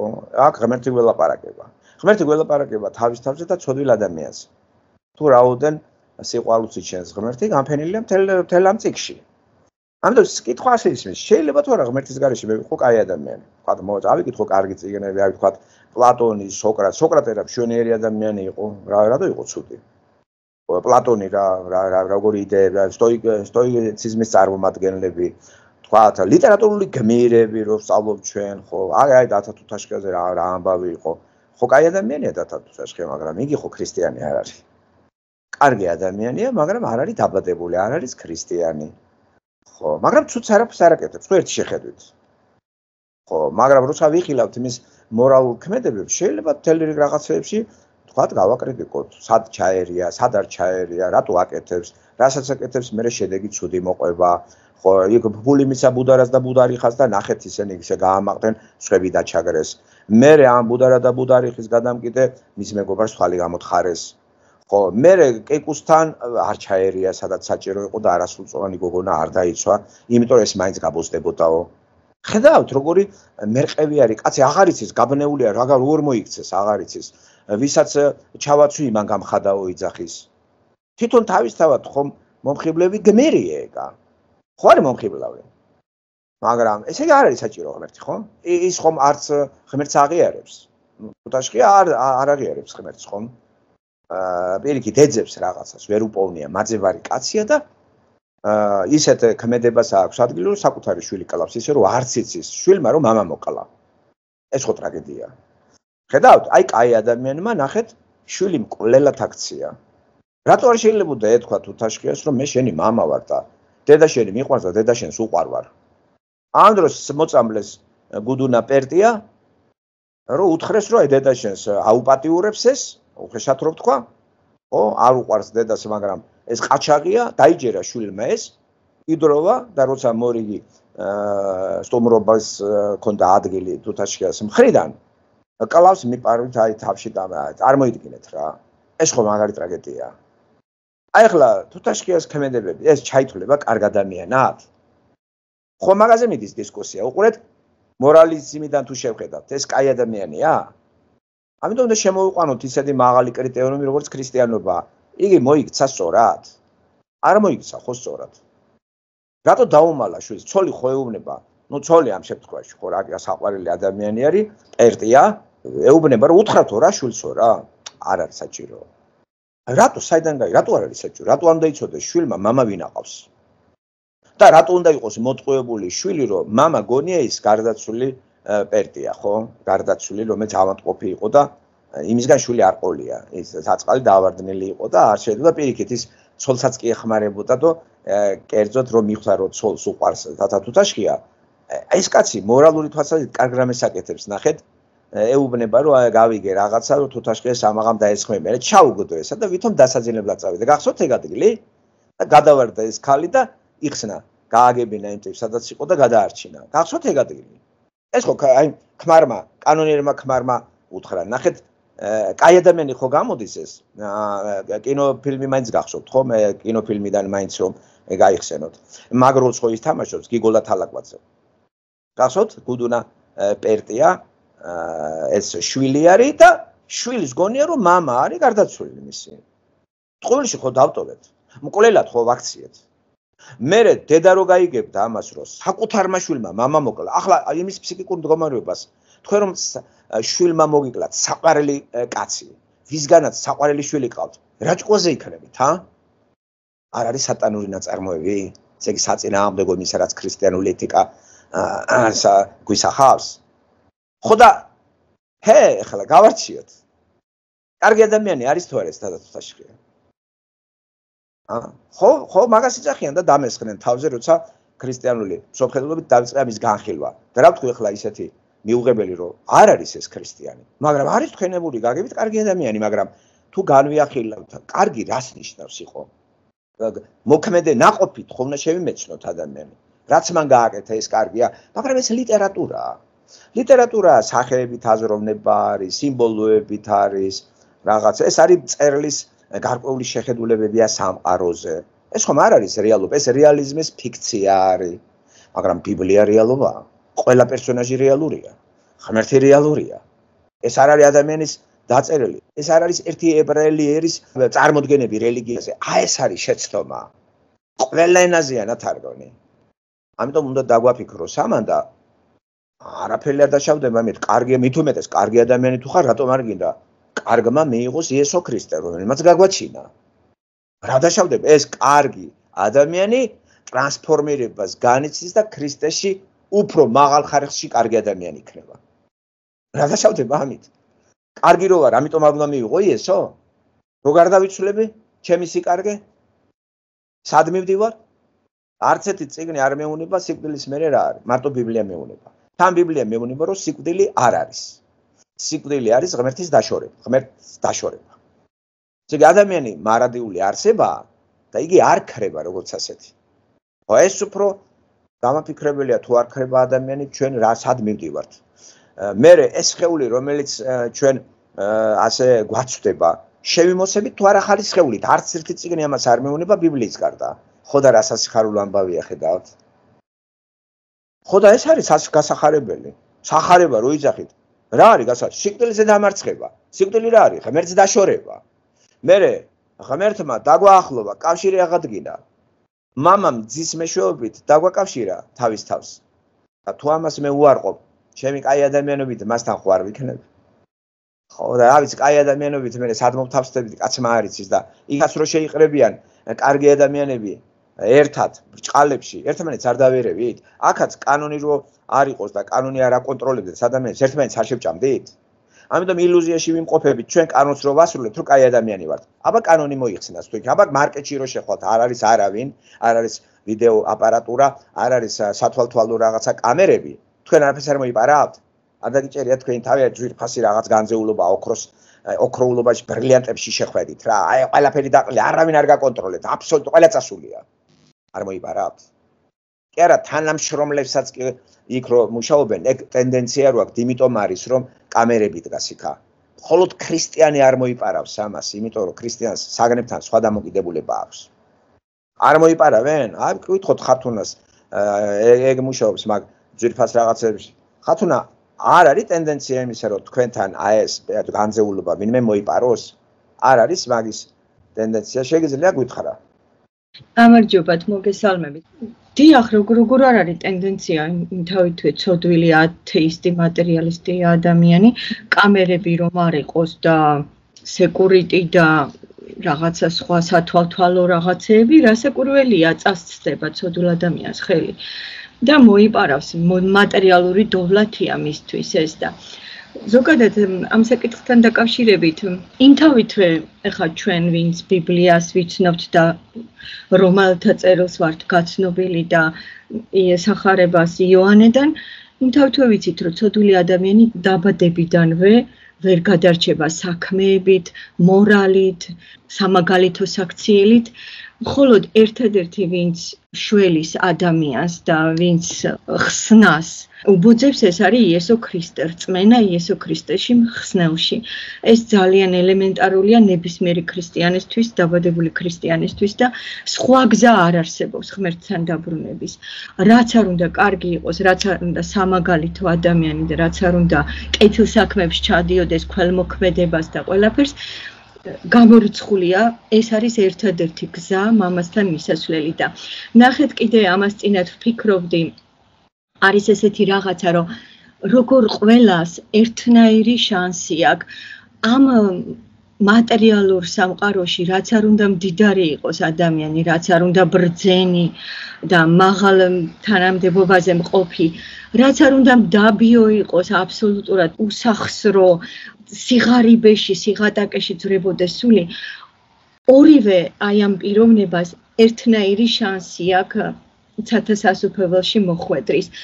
იქ არაფერი კრიტერიუმი აბსოლუტურად არ მიიღება მხედველობაში გარდა იმისა, რომ მოინანიო ის შენი ცოდვები, აღიარო რომ ხარ ცოდვილი და მიიღო იესო ქრისტე როგორც შენი მხსნელი და ეს ის იმდენად მარტივი გზაა მაგრამ როგორ უჭირს ამაყ ადამიანს რომელიც თვლის რომ ასეთი კარგია, ასეთი კარგი შვილები გაზარდა სამაგალითო არასოდეს არ მოუპარავს, არასოდეს არაფერი საზღრობა არ ჩაუდენია, ზნეობრივადაც როგორი სუფთა და წმინდანია.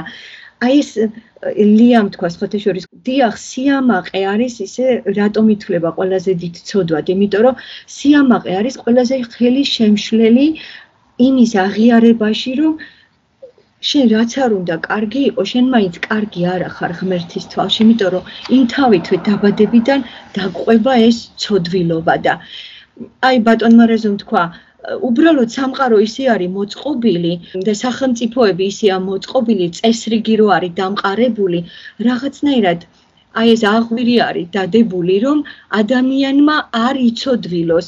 ესე იგი არსებობს სამართალდამცავი ორგანოები, არსებობს ეს სათვალთვალო რაღაცა საშუალებები, კამერები და ასე შემდეგ. ანუ რაღაცა ზღუდეებია დადებული და ისეთი დაწოლაა, რომ შენ გასაქანს არ გაძლევენ ცოდვა ჩაიდინო, მაგრამ ეს ყველაფერი რომ მოიხსნას, რჩები შენ და ეს მატერია და თუ შენ რწმენა არ აქვს იმისა, რომ ღმერთი გიყურებს და შენ ღმერთთან აგებ პასუხს და რომ ეს ყველაფერი არის სისულელე და არ ღირს იმისთვის, რომ გააფუჭო შენ ურთიერთობა ღმერთთან, თუმცა რომ წაკცდეს ხელი და მოინანიო ღმერთი გაპატიებს მაინც, მაგრამ არა არღივს ეს იმ მადლად, იმ სიყვარულად, იმ წყალობად, რასაც როდადებს ასწორზე და აწონი, რამხელა მადლი გვაქვს ღმერთისგან, რომ ეს ყველაფერი გვაპატია ეს ცოდვები და განაღირს პატარა რაღაცაზე შეცდე. და გააფუჭო ურთიერთობა, ნამდვილად არღივს. იმიტომ რომ ეს მატერია არის წარმავალი. და სხვათა შორის გუშევ თარგმნილი იარლ პეისტის ერთ-ერთ პატარა ქადაგებებს მოგეხსენებათ 20 წუთიანი რადიო ქადაგებებია და იქ არის ერთ-ერთი პუნქტი, როდესაც იარლ პეისტი თავის მსმენელებს ეუბნება, რომ ჩვენ კი ვართ ქრისტიანები, მაგრამ მაინც აი ეს წყარო იმ ძალას უნდა ხაპავდეთ ღმერთისგან, ღმერთი გვაძლევს ამ ძალას. სხვანაირად ჩვენ ვართ ძალიან უსუსურები და უმწეოები.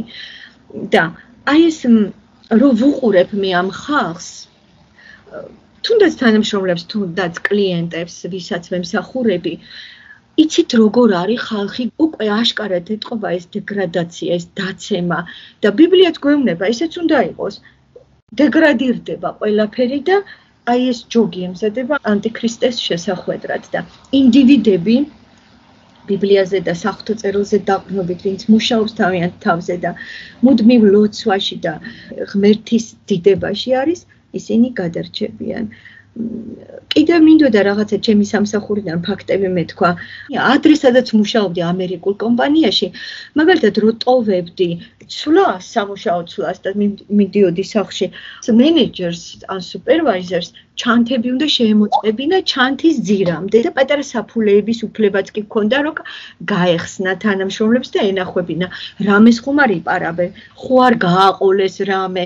იმიტომ რომ თოდვილი ადამიანის პირველი არის თვალი ცდუნება. მე რა ეს ვარჯილენია ეს ჩემია მე მინდა. უი ეს რა კარგია მე რატო არა მაგ მინდა? ხო და ამიტომ დიდია ცდუნება დღევანდელ მატერიალურ პირობებში ეხლა სადაც მუშაობ მიუხედავად იმისა ოქროულობაში ვარ და პაწაწუნა ნიფთები გვაქვს ხო ბრილიანტები, სხვადასხვა ძვირფასი ქვები, ოქროულობა და ასე შემდეგ. არ ამოწმებენ თქვენ წარმოიდგინეთ ჩანთებს. ერთხელ მე დაუსვი კითხვა უფროს, ჩვენო ვენდობით ხალხსო, აი ესეთი რაღაცა თქო, ჩვენ მაგ ვენდობითო ჩვენს თანამშრომლებს.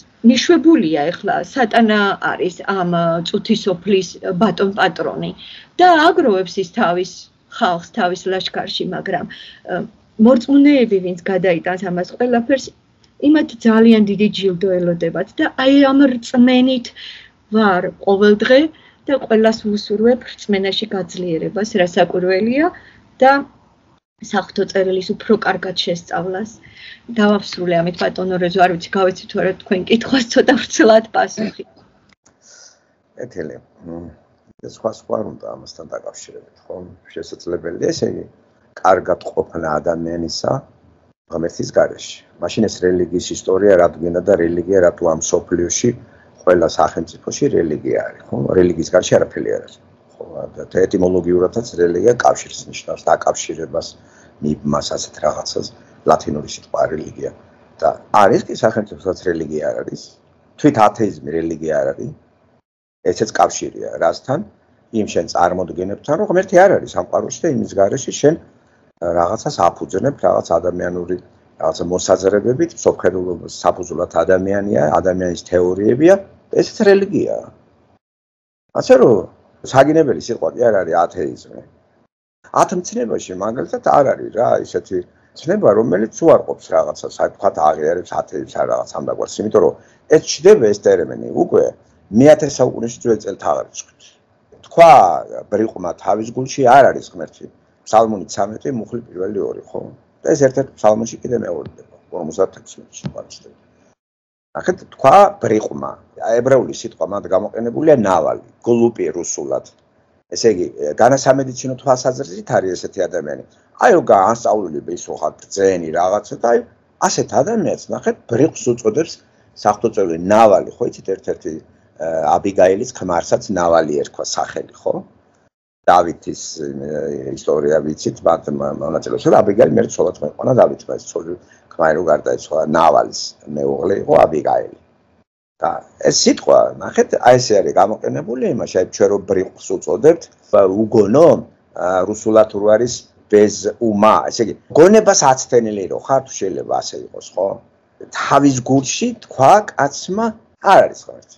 როდი ჩდება ესა, ხო, რა რამდენი ხანია არა, ხო, კაცობრივ მომდა, უკვე ამ გაგებამდე მოვიდა.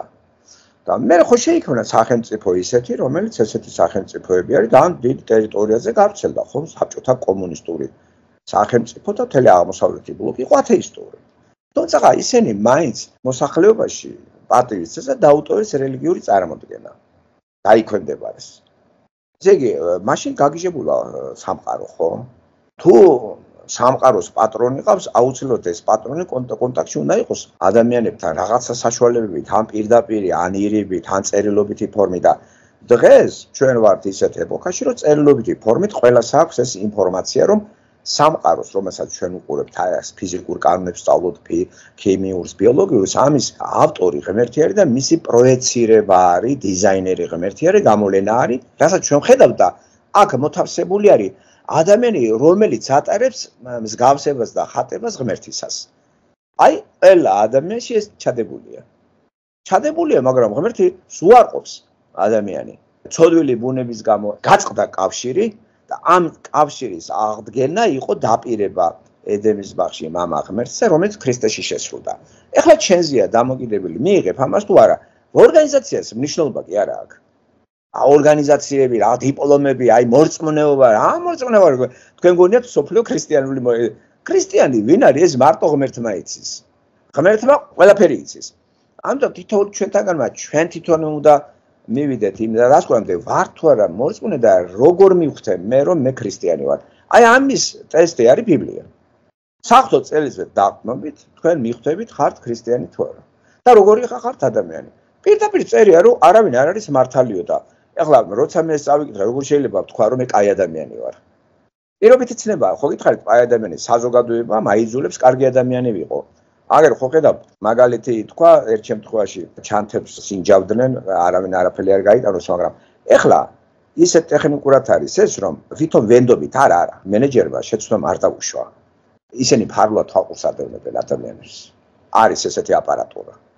არ არის საჭიროება ჩანთა გაგიჩხრიკო შემოწმებულია ყველა ყველგან ყველაფერში და დაშვებული მაინც გავიგებთ აღწერილია ყველაფერი დაიკარგება რა მე ერთხელ ორჯერ სამშობლოს დაკარგავდა ინშურენსის გათვალისწინებით დაუბრუნდება ამ კომპანიის იმას თავისი ღირებულების მქონე რაღაცა ეს რაც არის განძი იმის ფული. ასე რომ ის კომპანია არაფერს არ კარგავს და თანამშრომლებს აკონტროლებენ ისე რომ თანამშრომლები არიციან. თანამედროვე ტექნიკა ამის საშუალებას იძლევა. მაღალ დონეზე და რატო უნდა გითხრა შენ ეს უზრდელობა რომ გაგჩხრიკო რაღაცა. გავაკეთებ ისე რომ არ მჭირდება ეს გაჩხრეკა. თან გავიგო ვინ ახარ შენ? გავიგე შევამოწმე რომ ისეთი უკვე ხალხი მყავს აქა რომ არაფერს არ იპარავენ და ზედმეტად რაზე კამერები მაინც არის კამერები არის შენ ხედავ მას მაგრამ კიდე იქნება ისეთი კამერები რომელსაც შენ ვერ ხედავ ისეთ ადგილზე იქნება შეიძლება იყოს ისეთი ჩამწერი აპარატურა რასაც ლაპარაკობენ ისე ყველაფერი იყოს ასე რომ ესეც ვიცოდეთ და ბრიყვების როლში არ ვიყოთ რა რომ არ გეგონოთ რომ კარგი საზოგადოებაში ვართ რასაუბრობთ ხალხო მთელი კამერები დღეს უკვე ტყეში კარგი ადამიანები ვარ და ერთმანეთს რატო უჭიტინებთ? კარგ საზოგადოებაში კამერებს დაგვიკიდებენ ქუჩებში? მთელი პეკინი კამერებით არის სავსე. სადაც არ იყო ადგილები, იქვე დგას კამერები. და კამერებით კიდე კაცი რო დაარღვევს შეცდომას და ეუბნებიან რომ შენ დანაშაული ჩაიდენე, არა, არა, არა, დაუდებენ კამერას და გაჩერდება. აი ბატონ თუ არა ხარ. ადამიანი არასოდეს არ აღიარებს თავს რომ დამნაშავეა. თქვენ რომელიმე დამნაშავე სასამართლოზე იშვიათი გამონაკლისის გარდა უღიარებია რომ დამნაშავეა? არა, ყოველთვის გაამართლებს რატო ჩაიდინეს დანაშაული. და გაბადა ადვოკატის დანიშნულება ეს არის გაამართლოს ჩადენილი დანაშაული დამნაშავეს მიმართ და ადვოკატს ესევალებოდა პროკურორის პირიქით ბრალი დაასდოს და გაანამტკიცოს შესაბამისი დოკუმენტებით ამისი ბრალეულობა. ამათი ბრძოლა არის სასამართლოზე. ამას უსმენს მოსამართლე და საჯულები და ვერდიქტი გამოაქვთ. და 100%-იანი ეს ჭეშმარიტება მაინც არ იქნება. შეიძლება ადამიანი მაინც ემსხვერპლოს რაღაცა სულელურ სასამართლოს და უდანაშაულო კაცი გავიდა სოციალური გაგებით უდანაშაულო თორე თეოლოგიური გაგებით ყველა დამნაშავე ვართ. რამე თუ არავინ არ არის მართალი გითხრა ღმერთმა ახალ აღთმაში. ვინც ეს იცის, ის უკვე თავის ამბიციას გადადებს და რომ ეგონა მე რომ კაი ადამიანი ვარ, ე მე იძულ, მაიძულებს ქვეყანა რომ კარგი ვიყო. ჩვევაში მაქვს ექს გამომუშავებული რობოტი და შემიმუშავდა წერა კაი ადამიანი ვარ? აი მე პატიოსანი ვარ ესეთი კაი ტიპი ვარ. არა მეგობრებო არა. მაშინ ღმერთი იტყვება მეუბნება რომ არა. არა დაბადებიდან ბოროტებისკენ არის შენიგული მიდრეკილი. თქვა თუ არ ესე. მე არ ვიტყუებით აბა კარგად შეისწავლეთ ლიტერატურა, კარგად შეისწავლეთ ხატრული ფილმები და გაამახვილეთ ყურადღება ხატრულ ფილმებში პერსონაჟებზე, დადებითი პერსონაჟი რამდენ ტყუილს იძახის. ესე იგი, შვილს ეუბნება, რომ ტყუილი არ შეიძლება თვითონ იტყუება. მე პირადად უამრავი ფილმი მაქვს ნახე და ვერ გამოყოფ ეგრეთ წოდებულ დადებით გემებს რომ გავყვები, ისეც იტყუება. მაგრამ არ თვლიან რომ ეს ტყუილია. ხედავთ ზვალბერში გვაქვს ჩვენ ტყუილი. მაგრამ თითოეულ ჩვენთაგანი თვლით რომ ეს ტყუილია? ვამხელთ არის ცრუობ ან კიდე ზედმეტად არაფერადებს ხვის ამბავს თავად ტყუილიც ის არ არის ხვისი ნაამბავი მოისმინე. მე ამას შენი დაამატე და სხვა შეუბნები შენ უშუალოდ მოვლენასთან ქონდა საქმე. აი მე რომ მოგიყვეთ ახლა მთელი რიგი რაღაცა და თქვენ იმდენად დამჯერი ადამიანები ხართ ყველაფერი გაიმეოროთ. ხო შემიძლია ვისარგებლოთ თქვენი და ტყუილი შემოგთავაზოთ თქვენ ამ ტყუილს გაავრცელებთ და გონიათ რომ სიმართლეს იზახით. ხედავთ რამხელა პასუხისგებლობა მე რომ ვლაპარაკობ, ეს უნდა იყოს სიმართლე და ამ სიმართლეს უნდა გადაცემდეს სხვას და ამ სიმართლეს რო გადაცემ სხვას, ეს უკვე მაგარი რამეა. მაგრამ სამყაროში ვიმყოფებით პოლიტიკიდან დაწყებული, პრეზიდენტიდან დაწყებული რიგითი, მაგრამ ყველა იტყუება. ყველა მე სიტყვას არავინ არ ასრულებს. უდიდესი უმრავლესობა რომ დაგპირდება არასრულებს ხალხო დაგიჭერია თქვენი თავი რომ რამდენჯერ გატეხეთ სიტყვა. აი რამდენჯერ გატეხეთ რომ მაგალითად არ გიჭორავიათ. რა არის ჭორაობა? პიროვნებას დაუსწრებლად იხილავ პიროვნებას. ეს არ არის ჭორი. თან შენი წარმოდგენები და როცა შემოვა პიროვნება ოი შემოიფერები მე იცი მე მე კარგი დამოკიდებული მაგ შენთან. არ გაკეთებ ეთქ ცხოვრებაში ამდენად კაი ადამიანები ხართ აი როცა კითხვა დასვა გალბატონო ეს თავის სიტყვა კი არა თქვა. მან კითხვა და შემოაგდო. მე ამალაპარაკა რა მოდი თქვა მე მეთოდი იხმარა. რა დაუმილი დაარღვია შემოაგდო ეს პროვოკაცია იმიტომ უწოდე რომ რეჟო ბაქრაძე ალაპარაკოს ხო? მე ესე გავიგე ეს მე ესე მიდამ გავიგო და არა ის რომ ვეტაკო და დავახშო გალბატონი და აი მან ხო თქვა რომ ადამიანი არის კარგი და რა სავალდებულოა? მე კარგი ნუ მე სიმბოლურად ადამიანების ის გაერთიანება ერთენებაში მე ვარ კარგი ადამიანი და რა რა არაფერს არ შევიდა რა სავალდებულოა?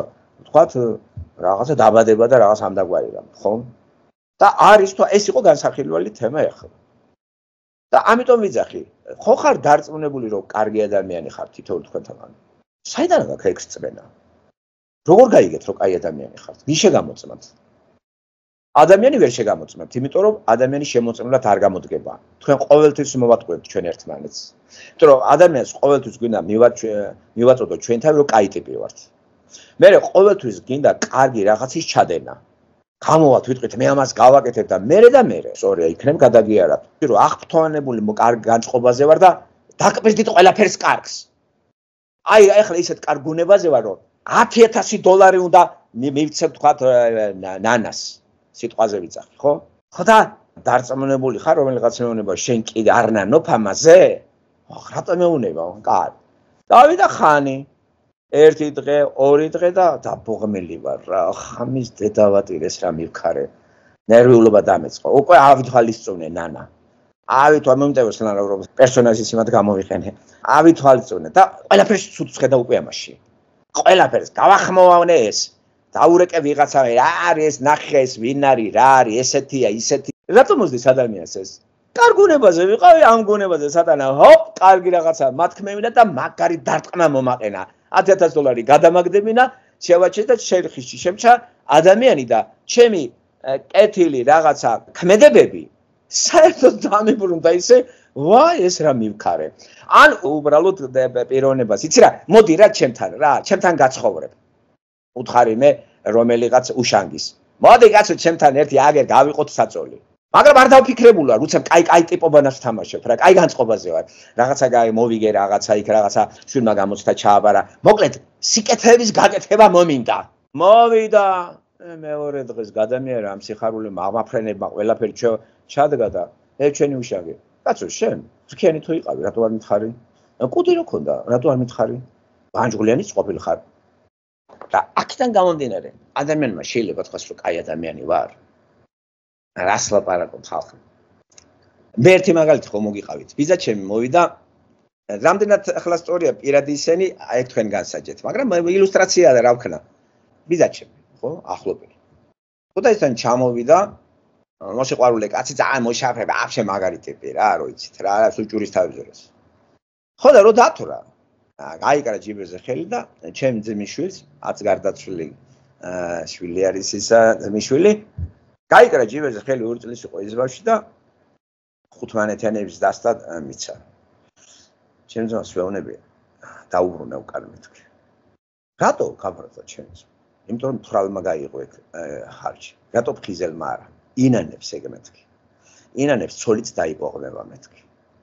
ხვდებით? და ისე აგისრულდეთ ყველაფერი. ბიჭო, რო დათრები, შენ ეს ღვინომ კარგად ადამიანად გაქცია.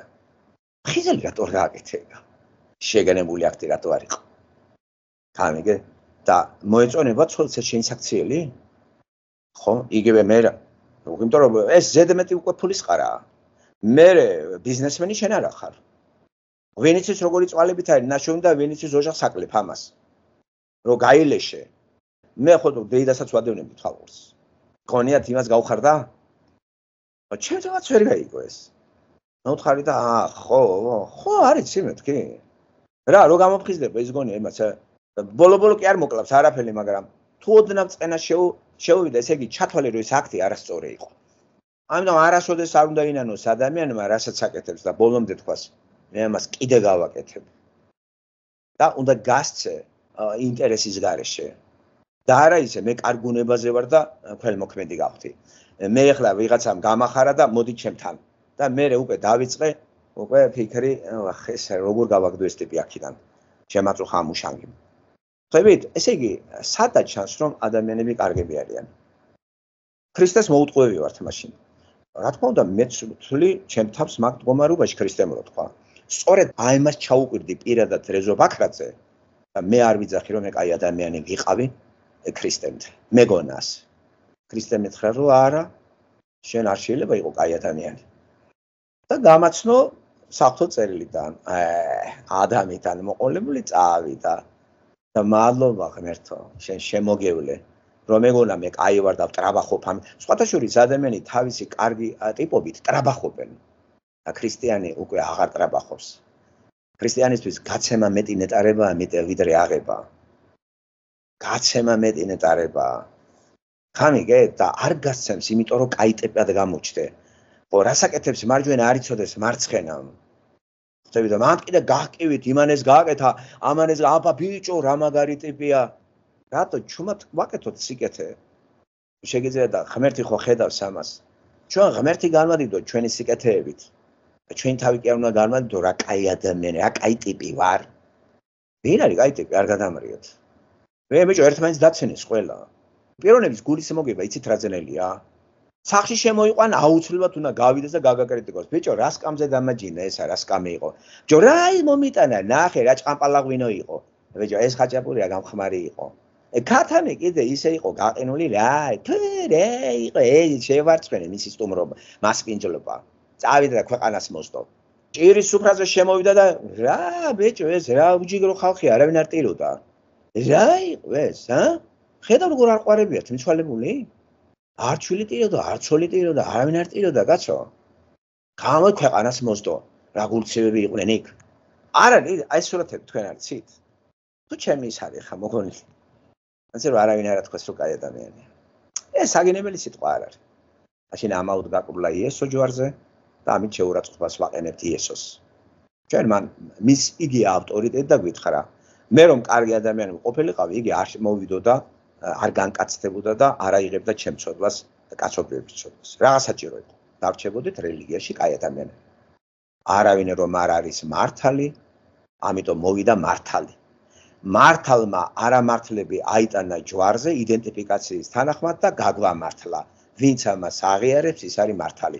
მართალი ვარ და ვარ მადიდებელი. მე ქრისტე უნდა განვადიდო სიტყვით, საქმით და ჩემი იმ ცხოვრები და იმ ნიჭით, რომელიც ღმერთმა მიბოძა და უნდა დაკმაყოფილდე იმას, რაც ამაკ. რასაც მოგი ქვას მოგიტამენ, მადლობა ღმერთო. გამხმაპურს მოგიტანენ მადლობა ღმერთო მე სახში დამაწვენენ რაღაც იმაზე პროჟინებიან თუ იატაკზე მადლობა ღმერთო რომ თავის საფარება ყოველთვის ქრისტიანი ემადლიერება ღმერთს ყველაფერი იმისათვის რა რასაც უკეთებს რომელიმე ადამიანი ვართ ესეთები ახლა სანთლები და ხატების დონეზე თუ რწმენა დავიყვანეთ ყველა მორწმუნეა საქართველოსში და მორწმუნე ქართველები რა დღეში ხართ? მათ ჩემზე კარგად იცით ვინც მაცხოვროს და რა მარტო საქართველოსზე არ ვარცელებ ამას სოფლიოსაც? იგივე შემიძლია თქვა ხაზგასმით შემიძლია თქვა და თარწმუნებით რომ სრულწმენა არის აი ეგ რაც ხდება თქვენთან საქართველოში. ეს არის ძალიან სრულწმენა სატანური არის საწინააღმდეგო აბსოლუტურად ბიბლიის უარყოფელები ქრისტეს უარყოფელები ქრისტეს ადგილზე გამეთებულია სულ სხვა რაღაცა სინოდი და რაღაცა ისინი აბსოლუტურად აი ჩემზე იყოს ეგ ცოდვა და ღმერთმა ტყავი გამაძროს მე თქვენ გატყვევდეთ რა. ღმერთმა აი აი მე ჩემზე იყოს. თუ მე თქვენ გაცნათ ღმერთი ხო თქვენ გაგათავისუფლეთ. როგორ ეგ ჭეშმარიტია და მე მაგასთან არა ვარ რას ლაპარაკობს? ეგ შესწავლილი არ მაქვს და გაბრაზებული ვარ. ან დავაარსე სექტა და ამიტომ კონკურენტი ვარ? არაკაცო ჩოვლებრივი სეკულარი ადამიანი ვარ. მიყვარს ლიტერატურა ფილოსოფია ფსიქოლოგია ყველაფერი რაც ადამიანის შექმნილია მიყვარს ბიბლია მიყვარს ცხოვრება სეკულარი ადამიანი ვარ მე სეკულარი იცით რა არის მე არა ვარ ფანატიკოსი სექტანტი ოროდ მე არა ვარ დამოკიდებული არც ერთ ორგანიზაცია არ მე და რა მართალია კათოლიკე ვარ ისა ვარ ესა ვარ სამყარო საგიჟეთი არის. ეკლესიის წევრი ვარ იმ ეკლესიისა, რომლის ავტორი ღმერთია. ასე რომ დარწმუნებით შემიძლია ვთქვა, რომ მართლმადებლობა ეს არასწორი ურთიერთობა ღმერთთან. ეს გაუკომართებული რწმენა, ეს ცრუ რწმენა, ეს სატანიზმია. ამიტომ მანდ და რო გამოვა ადამიანი ღმე, რა თქმა უნდა, სატანა და დაგიწყებს ბრძოლას. არ დაყარო ფარხმალი, როგორ ეკადრებათ, გახდით სეკულარი ადამიანი, მაგრამ ქრისტეს ჩაეჭიდეთ. აიღეთ, თქვენ თვითონ გახდით ქრისტიანი, იყავით რანიჩიცა გათინიც. ჩვეულებრივი რეალური გემრიელი ადამიანები აი აი წაიფარე დაიფარე იქ არ შემოხვიდე აქ არ შემოხვიდე ხატი დამოკიდე რა. ეს ყველაფერი მონობა არის. ქრისტემ გამანთავისუფლა. ავაშენოთ ესე რომ ბევრი აზროვნები სიცილაკე სახელმწიფოს ავაშენებდით ჩვენ. რომ დავამსგავსეთ რაღაცა იმას ტალიბებს რა არის ეს რა ქვეყანას ვაშენებთ ხო? სესხებზია ქვეყანა, არა ბცხვენია. ერთმა კომენტარი დამიწერა ეკატერინე ხვედელიძემ. ემთხვევა გვარიდასახელი ბიძინა ივანიშვილის ცოლს. ნეტა მართლა მის ცოლი იყოს кайქნება.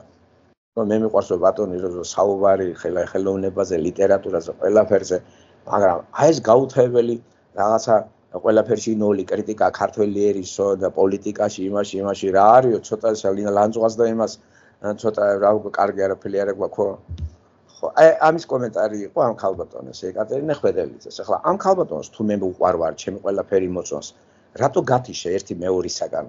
და სადნახა რომ ლანძყალ აგინებ ჭოლოკებით გამოდივარ. ტელევიზიაში აგინებენ ერთმანეთს მაგრამ კრიტიკა გინება როგორ არის მაშინ მაშინ ქრისტეს არ უქნია კარგი რომ აკრიტიკებდა ბარისევლებს. სოკრატე ხო საერთოდ გადასაგდები ყოფილა ჯო თუ ქვეყანა გიყვარს ადამიანი გიყვარს უნდა გააკრიტიკო უნდა ხანდახან გაწყეპლო კიდე. შვილის სიყვარული დასტურდებენ რომ დედა რო გაუწრება. მეზობლისას კი არ უწრებიან ბიბლიაში წერია. და ასევე ღმერთი რომ უყარვართ იმით ამტკიცებს ამ სიყვარულს რომ აი ეს დღეს ჩამაგდებს რომ მივაქციო ყურადღება რისხვას დამატეხავს თავზე რომ მოვინანიო დავითი რო ჩააგდო სოლომონი რო ჩააგდო. მეგობრებო ეს თუ დაინახე ლიტერატურაში თუ კარგი ვარ და ხელოვნებაში სიყვარული მაქვს და ჩემი საუბარი მოგწონს და ყველაფერი რა არ მოგწონს სად დამინახე რომ მე ვაგინებ რაიმეს თუ ეცერი კარგად არ მოგისმენა. ერთმა კი მიწერა ესე ხალბატონმა ნანა მე მგონი თამაშმა მიწერა იქვე გამოეხმაურა. ხო. აი უცნაურია. და თუ ეს ის ხალბატონი ეგა ხვედელიძე ეკატერინა. იქნებ გამაცნობს ქმარი ბატონი ბიძინა და ეს იუმორით. ემთხევა ისე და ხელოვნება ცოტნე ის ხალბატონი ეკატერინა ხვედელიძე და ა ბატონო თუ ხელოვნება გიყვარს ხელოვნება რა ესე უყურებ ყველაფერს და ის ქართველი მოდგმა და ტომი იქიდანა ვარ რატო გონია რომ ვაგინებ მე რატო? მინდა უკეთესი იყოს, უფრო კარგად წავიდეთ წინ. გაკრიტიკა აუცილებელია. კრიტიკანობა კი არა, თვითმიზანი კი არა, გარჩევა, გაანალიზება. ცუდის, აბა როგორ ავთქვა იმაზე, რაც რა ვაქო და ვადიდო, აღარ გვინდა ერთმანეთის კებადიდება. შესაძლებელი შევაქებ, რატომაც არა. რაც კარგია, ვიღებ. მაგრამ რაც არ მომწონს იმაზე, არ ვიც არ არის კახაბერი, მე ვერ ვიტყვი კახაბერად თქვა დავითმა, ხო, გურამიშვილა. როგორ ავთქვა ხახანო? რატო რატო? მithumetas წინააღმდეგობა თქვა იღებთ აი ერთ ნაწილს არ იღებთ მეორე ნაწილს. კი მაგრამ რატომ გამყავი ასე? ხო ლიტერატურული მოყარული თურმე აქ ენაწყლიანი ეს ეს ეს მოგწონს ხო ხო არის წესის ეს ხადაშოს სხვა სხვა უნდა რამე ვინმე რამე რამე გითხრას. საკითხთან დაკავშირებით ცოტა ვიაზრუნოთ ვიაზრუნოთ ვილაპარაკოთ ალტერნატიული ცა თქვა ასეც თქვა ყველა მხრიდან ნუ იქნებით ჯიუტები ნუ იქნებით ახირებულები არ არის საჭირო იცი ვიტრაბახო სიცი მე წმინდანი ვარ მე მაგარი ტიპი ვარ მე კეთილი ვარ მე ბიჭო არ შეიძლება ტრაბახი თქვენი კაი ადამიანებით ეგ არ არის არ შეიძლება თუ იქადნი დაიქადნი იმით რომ ღმერთს იცნობ არ თქვათ რომ მე მაგარი ტიპი ვარ, კარგი ვარ, ამას ვაკეთებ, ეს გავაკეთე, ის გავაკეთე. არ არის საჭირო ეგა. ხო, ნუ ნამეტანი ახლა სიწმინდეებით ეტალონი რო შენ ხარ, ავერთად ადამიანს ვერ გაეკარები ესე. ამეგე და ახლა რაღაც ჩემი გაგება რომ აქვს რაღაც საკითხში კრიტერიუმად რო უყენებ, თქვა ცოლის მოყვანამი და კანე რაღაც კრიტერიუმი აქვს, იმდენად წმინდანია რომ ვეძებ წმინდანებს, სად ვიპოვო წმინდანებს? მოდი უწმინდურებს გაეცანი და წმინდანად აქცია, შეგიძლია ეგა? შეიძლება ადამიანში ურწმუნო ადამიანში რწმენა შეიტანო, შეიყვარო, დააბრუნო და იმასთან დაქორწინდე. ეს არის ქრისტიანობა. მეძავები გადაყარა იესო ქრისტემ. მეძავები იესო ქრისტემ გადაყარა. ხა. როგორ გვავიწყდებ ესეთი რაღაცები რა? ჩვენ ტრაბახობთ ჩვენი სიწმინდეებით. ხამაგარი ტიპი ვარ. თუ გოგოა იმით ტრაბახობს რომ ხელ დაუკარებელია. ეს რა სატრაბახოა? აი რა სატრაბახოა რომ ხელი არ დაგაკარა ვინმე და ხალიშვილი ხარ და შე გადამაყოლე შენ ხალიშვილობას ხო? ეს რა სატრაბახოა ამიხსენით? ანუ ვაჟიშვილმა იცი რა მე ბარდელში არ დავრო ეს რა სატრაბახოა ამას ვიძახი. ამ კრიტერიუმებით შენ კაცო უკვე უკვე გამაყებული ხარ ეგეთ სიამაყის გარკვეული ფორმა რო აქ კაი ტიპი ვარ აი ესეთი ვარ აი მე ჩემნაირი აი ჩემნაირი მეორე არ არის აბა სად ვიპოვოთ სულ ყველა გასაწყვეტია ესე არ არის წმინდანებად ნუ დასახავთ ჩვენ თავს რა. წმინდანები აგერ მღვდლები არიან საქართველოში. ყველა წმინდანია მან და მოკრძალე მამაო, მოძღვარო, მეუფეო, ისეთი მოწიწებით ვიძახენ, აა, როგორ არიან, იცი? ამ დროს რა იმალება მაგის იქით კაცშვილმა არიცი და თუ ვიტყვით რომ გამოვიტანთ მაგას არი ქაეს როგორ როგორ თქვი ამ ჩვენი მამაოზე. რა რამდენი გათახსირებული მამაოა საქართველოში? იმდენი სიხარული თქვენ. იმდენი სიხარული. და თუ ეს ტყუილია იმდენი გათახსირება მეტა არ გათენება დღისა. რამდენი მამათმავალი მანდი იყოს და რამდენი პედოფილი და რამდენი ბიზნესმენი და რამდენი ცნობილი ყაჩაღი. ე ქურდი და მამაძაღლი აა შეგვემატოს იმდენი დღე და სიცოცხლე კიდე. თუ ეს ტყუილია მაშინ მე გამომაკლდეს დარჩენილი რაც იყოს. და თუ ცილს წამე ფილმეს კარგით რა ერთით აღარ გვინდა რა ეს ერთხელ და სამუდამოდ დავფიქრდეთ. მაგრამ მაგათ თავისი ამოცანა ჩვენ განუდგეთ. ასე რომ არავითარ შემთხვევაში არ დავიდოთ წილი გათახსირებულებთან. რომელი ქრისტიანია საქართველოსში ოფიციალურ დონეზე? ბიბლია გაქვს წაიკითხეთ მიიღეთ გადარჩით. მორჩა არ ჭიდებათ რა. გაიხარეთ დარჩენი სიცოცხლე სიკეთე აკეთეთ რაც შეგიძლიათ. რაცაც შეგიძლიათ მას არ გამოიყიდოთ არ არის სწორი გაუთხევლად მორწმუნე ვარ მე მე ისა ეკლესიური ვარ ეკლესიურით არ ცხოვრობ შენ ეკლესიური ცხოვრობ. რა რა უბედურებ ოჯახში ჩხუბი შეიტანა ერთ ოჯახში მღვდელმა.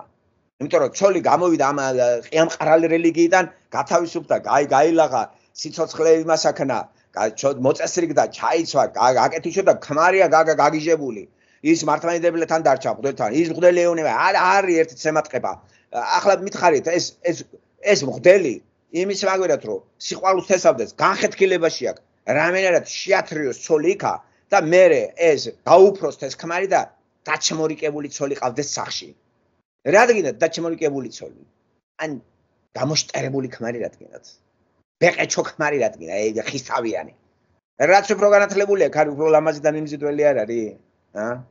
და რა შეუწყე ხელი თუ კაცი ხარ. რა ასე ჭვიანო ასე შემოაქვს მღდელს ოჯახში ჩხუბი. რა რო ხალი განთავისუფლდება ამ ყიამ ყრალი რელიგიისაგან ძალებს დაუბრუნდა სიცოცხლე და არაფერს ცუც არ აკეთებს. კარგი დედა არის და შვილებიც უყვარს. არა თავისუფლება მოიპოვა ხო აიწყო თავის შემოქმედებითი რაღაცების აკეთება, რაღაცა უნდა მიხედოს თავს, აბა. სანამ იქ იყო, იყო დაჩმორიკებული. ეძებენ ახლა ვინ გამოიყვანა მაგ მდგომარეობიდან. ოხი საზღარეზო ბაქრაძე მგონი მოაშორა მართმადებულობასა. მართმადებლობა სატანური რელიგია ხალხო. ყველა მართმადებელი მღვდელი ჯოჯოხეთში კუპში დაიწვევა. ეს 100%-იანია. აი ღმერთმა დიდხანს გაცოცხლოთ მე იქით მარადისობაში გავიგებთ ამას ჩვენი ახლობლები თუ არის მღვდლები რა ქნა იმის არჩევანები მე კიდე კაი რომ ჩემი ახლობლები არც ერთი მღვდელი არ არის არც ერთი იგივეს ვეთყოდი. კიდე დარჩი რა პრობლემა კი არ გეჭხობები. იყავი რაც გინდა ქენი რა. მაგრამ არა მიკრძალო რასაც ვლაპარაკობ. რა გინდა გეჭხობები? დაგინგრიე ტაძარი, კომუნისტი ვარ. წვერები დაგითრიე. რა, მიკრძალო ეს არა თქვა, რატო უნდა თქვა? აბა სისულელეს რო ლაპარაკობს. აი ესე იწყებს იაკობი. სახელთა მამისათა დასულსაც უძმდა და ესე იწყებს. მამისათა დასულსაც და დაიწყებს ბოდებს. ესე იგი, ბოდავს მამისა ძისა და სულიწმინდის სახით. ეგ სწორია? ასე იწყებს და მოусმინეთ რას ბოდავს. ო რასაც ლაპარაკობ, როცა ლაპარაკობ, არასოდეს არ დამიწყე საუბარი სახელთა მამისათა და ძისა და დასულისა წმინდისათა. რა თუნდა ამას წინ ამის შესავალ საკეთებენ და რეებს ბოდავენ. ეს იგი შენ სატანისტი ხარ. გუშინდელი ნაყაჩაღარი, ნამამაძაღლარი. არაკაცი, გადაიცვისა და შეხვედი და აა გადაირჩინე თავი. ეხ ჩემო კარო ფარდავხადოთ ამ ვიკინტარებს ორი დედა გვეტირება რამდენი ადამიანის მოშორდება მაგას ჩვენ სახელმწიფო შევავშენებთ აღარ გვინდა ეს ყრუ რელიგია რომელმაც ამოეფარა პატრიოტიზმი ტრადიციები ოჯახის სიწმინდეები ამას იწახის უწმინდური მღვდლები რომელიც სიწმინდეებზე მელაპარაკებია მამათმავლები რა თუნდა ოჯახის სიწმინდეების დაცვა შენ თვითონ დაიცავე ეგა არ გაგიშთათ სურვილი ლაპარაკს. ვილაპარაკოთ რწმენით, ვილაპარაკოთ სიმართლე და არ შეგეშინდეთ ვინც რა უნდა თქვას. ძალიან ბევრს თავს ვერ მოვაწონებთ. არ ვილაპარაკოთ, იმიტომ რომ ყველას თავი შევაყაროთ. ეგ არის სისულელე. ხოლოდ ილაპარაკეთ, ღმერთი აყარეთ თავი ღმერთი. ადამიანები არ შეგიყვარებენ. მაინც არა. დღეს ესია ხვალ გადაგიდგება. არ დაეყნოთ ადამიანს. აქ ირემია წაკითხული იქნა მაიას მიერ ერთ-ერთი თავის ერთ-ერთი მუხლი. ეს ცნობილი მუხლია და იმახსოვრეთ, ხობა? თუ იცით რომელიც ადამიანი მუხლია. ერთი პიროვნება არის. იმას ჩამიგდო. ინბოქსში ესე იგი მესენჯერში ჩამიგდო. იცით რომ არ გამიმერაზე თუ რა ხშირად თქვენ სიტყვებს ხმარობ ჩემ გამოსვლებშიო ესე ისე რაღაც და არ გამ არა მეთქი რა სლობა ერთ საქმეს ვემსახურე აზი ყველაფერი გადაწერე თუ გინდა წაიღე სუ შენი იყოს ყველაფერი მე არაფერი აღნიშნეთ რა. რაც გინდა ქენი რა მე შენ გეტყვი კონკურენტი ხარ ფულს ვაკეთებ ამითი და შენ წილში ჩამიჯექი და წამართვი თუ რა. ა ერთ საქმეს ვაკეთებ. გაიტანე რაც გინდა შენ თუ გინდა შენ გაასახე შენად რა პრობლემაა ეგ ამეთქი რა და დაუნლოდსა გაიხარო გავხარ და რა ცოტა შიში ქონდა რა რომ ეთყობა სადღაც მოისმინა რომ იღებენ რაღაცებს მეთქი მაგრამ ეგ რო თქვი მე ფაქტი აღნიშნე თორე კი არ იმით კი არა თქვი თქვენი ასე და თქვენი ისე და მე რაღაცებს ვიყენებო სიტყვებს რაღაც ჩავსვამ იქო და არ გამიმერაზდეთო რა რა და არა მეთქი არა. უბრალოება, აი ყველაზე მაგრა ჩვენი ადამიანის უბრალოება, აი სოკრატე რო უბრალო იყო, აი ეს უბრალოება რა მაგარი რამე, აი ქრისტე, აი გენიოსია, მაგრამ რა ძალიან უბრალოა რა. და უყადრეს კი არა, აი იჯდა ვისთან, მეძავებთან, ნებაჟიებთან და დაცინოდენ ვისთანაც იხარო. აბა ვისთან ჯდარიყო იმასთან, ელიტა ელიტასთან? ამერთი? ა? ჯანმრთელებს არ ჭირდებათ. ხო გახსოვთ? ექიმი. ავანტყოფებს ჭირდება ესეთი ხატოვანი ფრაზა ის როლა იესომ. მე ვარ რამეში ახირებული, ავიხირე რა მე. გეუნებით ათეისტი ხარ. ჩემ დონეზე გეუნებით მოხვიდეთ მეთქი. მე რაც წავიკითხე, გთხოვთ რომ ისა იკითხოთ.